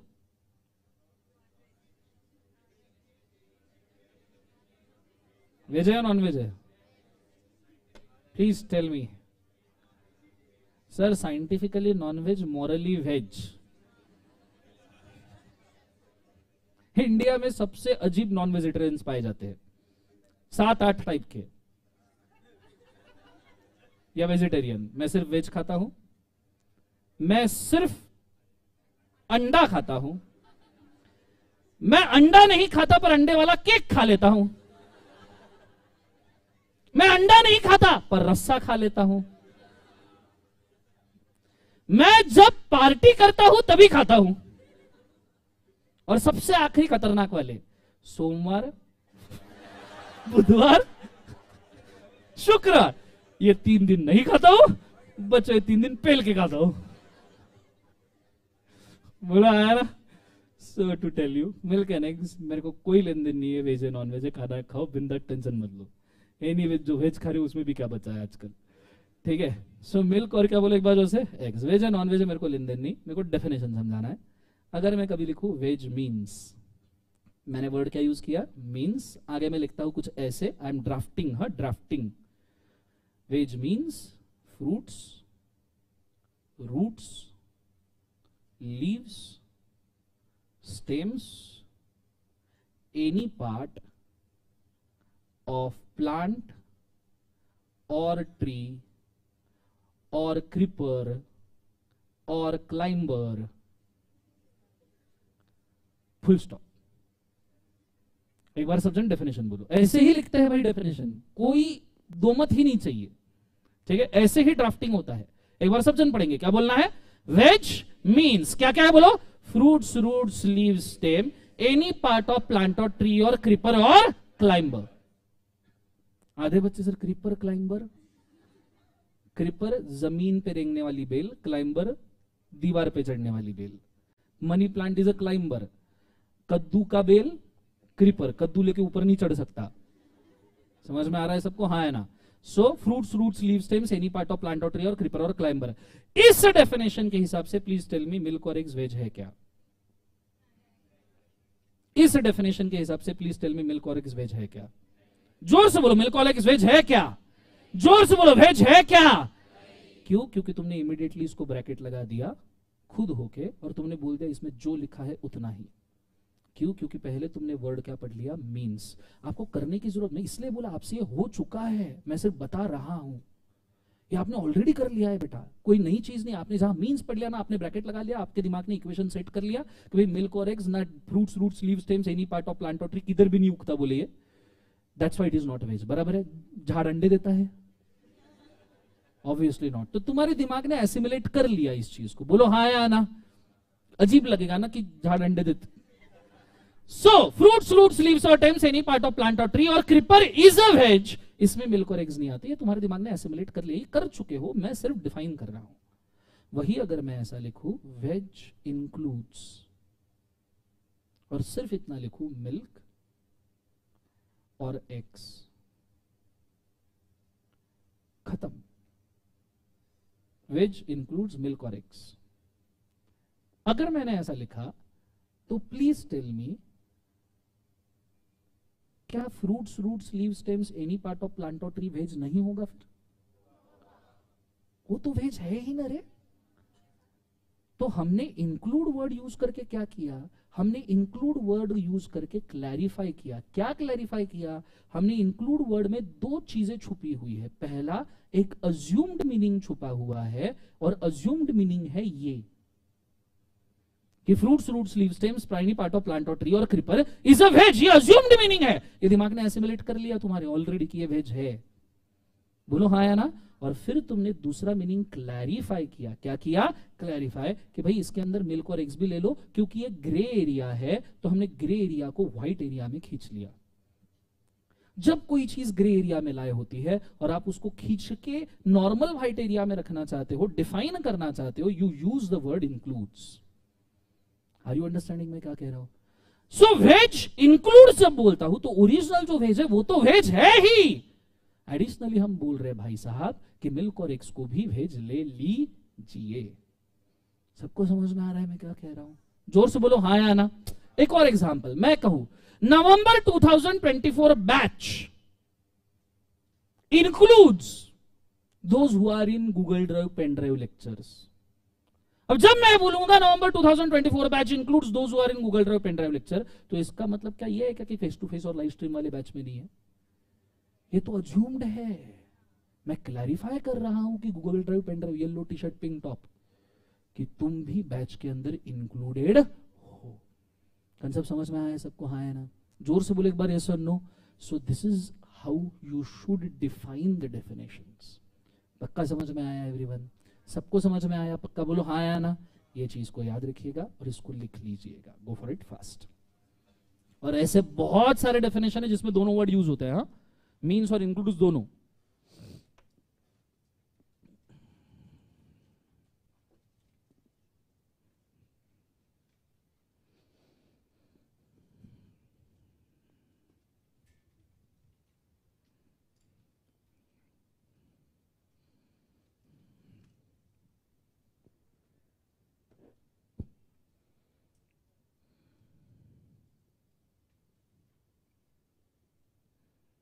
बुक अच्छे से मेंटेन करते हो ना तुम? Please maintain a very beautiful book कि लोग तुम्हारी बुक को देख के जेरोक्स मांग ले। एटलीस्ट एक बोलने का बहाना मिल जाएगा।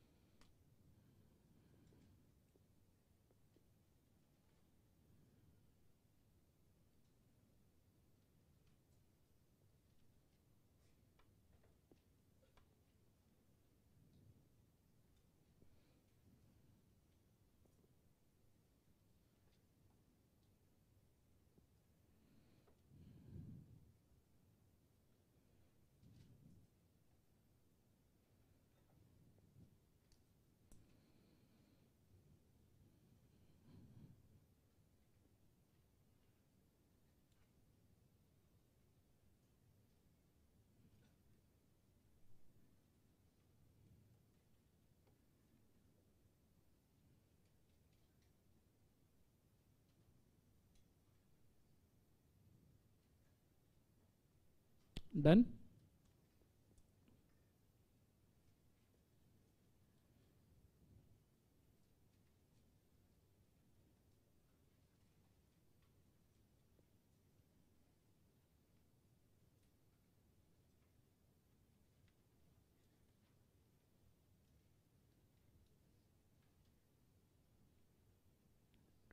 लिख लिया सबने? बोलो हाँ है ना?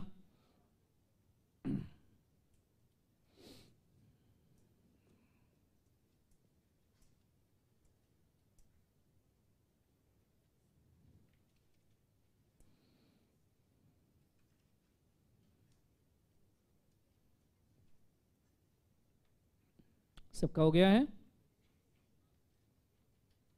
एवरीबॉडी बोलो ऐसा ना। चलो, शानदार। एक क्वेश्चन लिखो। आज से होमवर्क शुरू। शुभारंभ करते हैं पहले क्वेश्चन के साथ। उसी नोटबुक में। यही तुम्हारी क्वेश्चन ईयर की नोटबुक है। ठीक है? जब हाथ में आपका मॉड्यूल आ जाएगा तो क्लास नोट्स आपको मॉड्यूल में शिफ्ट करना है। This is your only question answer की नोटबुक ठीक है? कुछ इसके अंदर कंसेप्ट भी आएँगे it's okay not a problem आप इसी में कंटिन्यू करना है, ठीक है? लिखिएगा क्वेश्चन लिखना।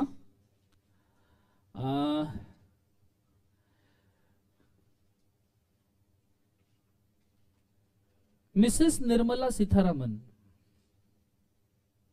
Mrs Nirmala Sitharaman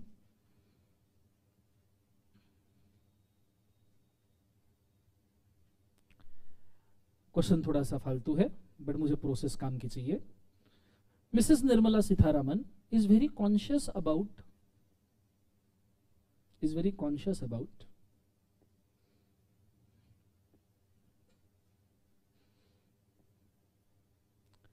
the healthy lifestyle of the student fraternity very conscious about the healthy lifestyle of student fraternity specifically professional students. Student fraternity specifically professional students professional student मतलब कौन? आप, मैं? हम लोग बोलो, भूल गए क्या जीवन में?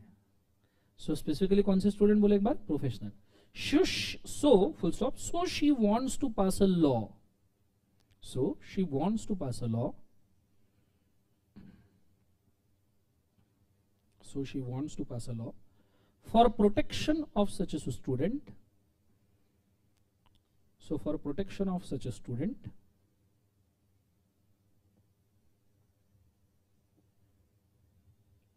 and she comes to you.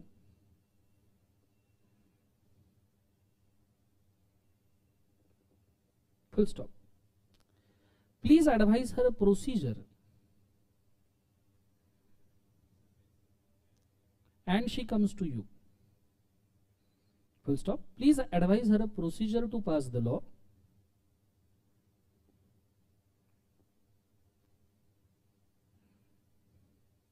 And define her the laws of land. Define her the laws of land. Stop. Okay. दो दिन का पूरा समरी एक क्वेश्चन में, ठीक है? क्वेश्चन नंबर वन दो इसको। क्वेश्चंस काउंट कर लेंगे एंड तक के अपन। बोलो हाँ ना? आज से शुभारंभ होता है, कृपया होमवर्क करके आइएगा। Last but not the least क्या करें होमवर्क का? नहीं करके आओगे, खड़े रहना है? ओके लास्ट टाइम जो पेरेंट्स मिलके गए थे मेरे से, खड़े अगर आपको रहना है, आप खुद होके खड़े रहिएगा। आप छोटे बच्चे नहीं हो स्कूल गोइंग बच्चे नहीं हो, ऐसा मेरे को बोला गया है। उस हिसाब से मैं पर्सनली आपको टॉर्चर नहीं कर सकता।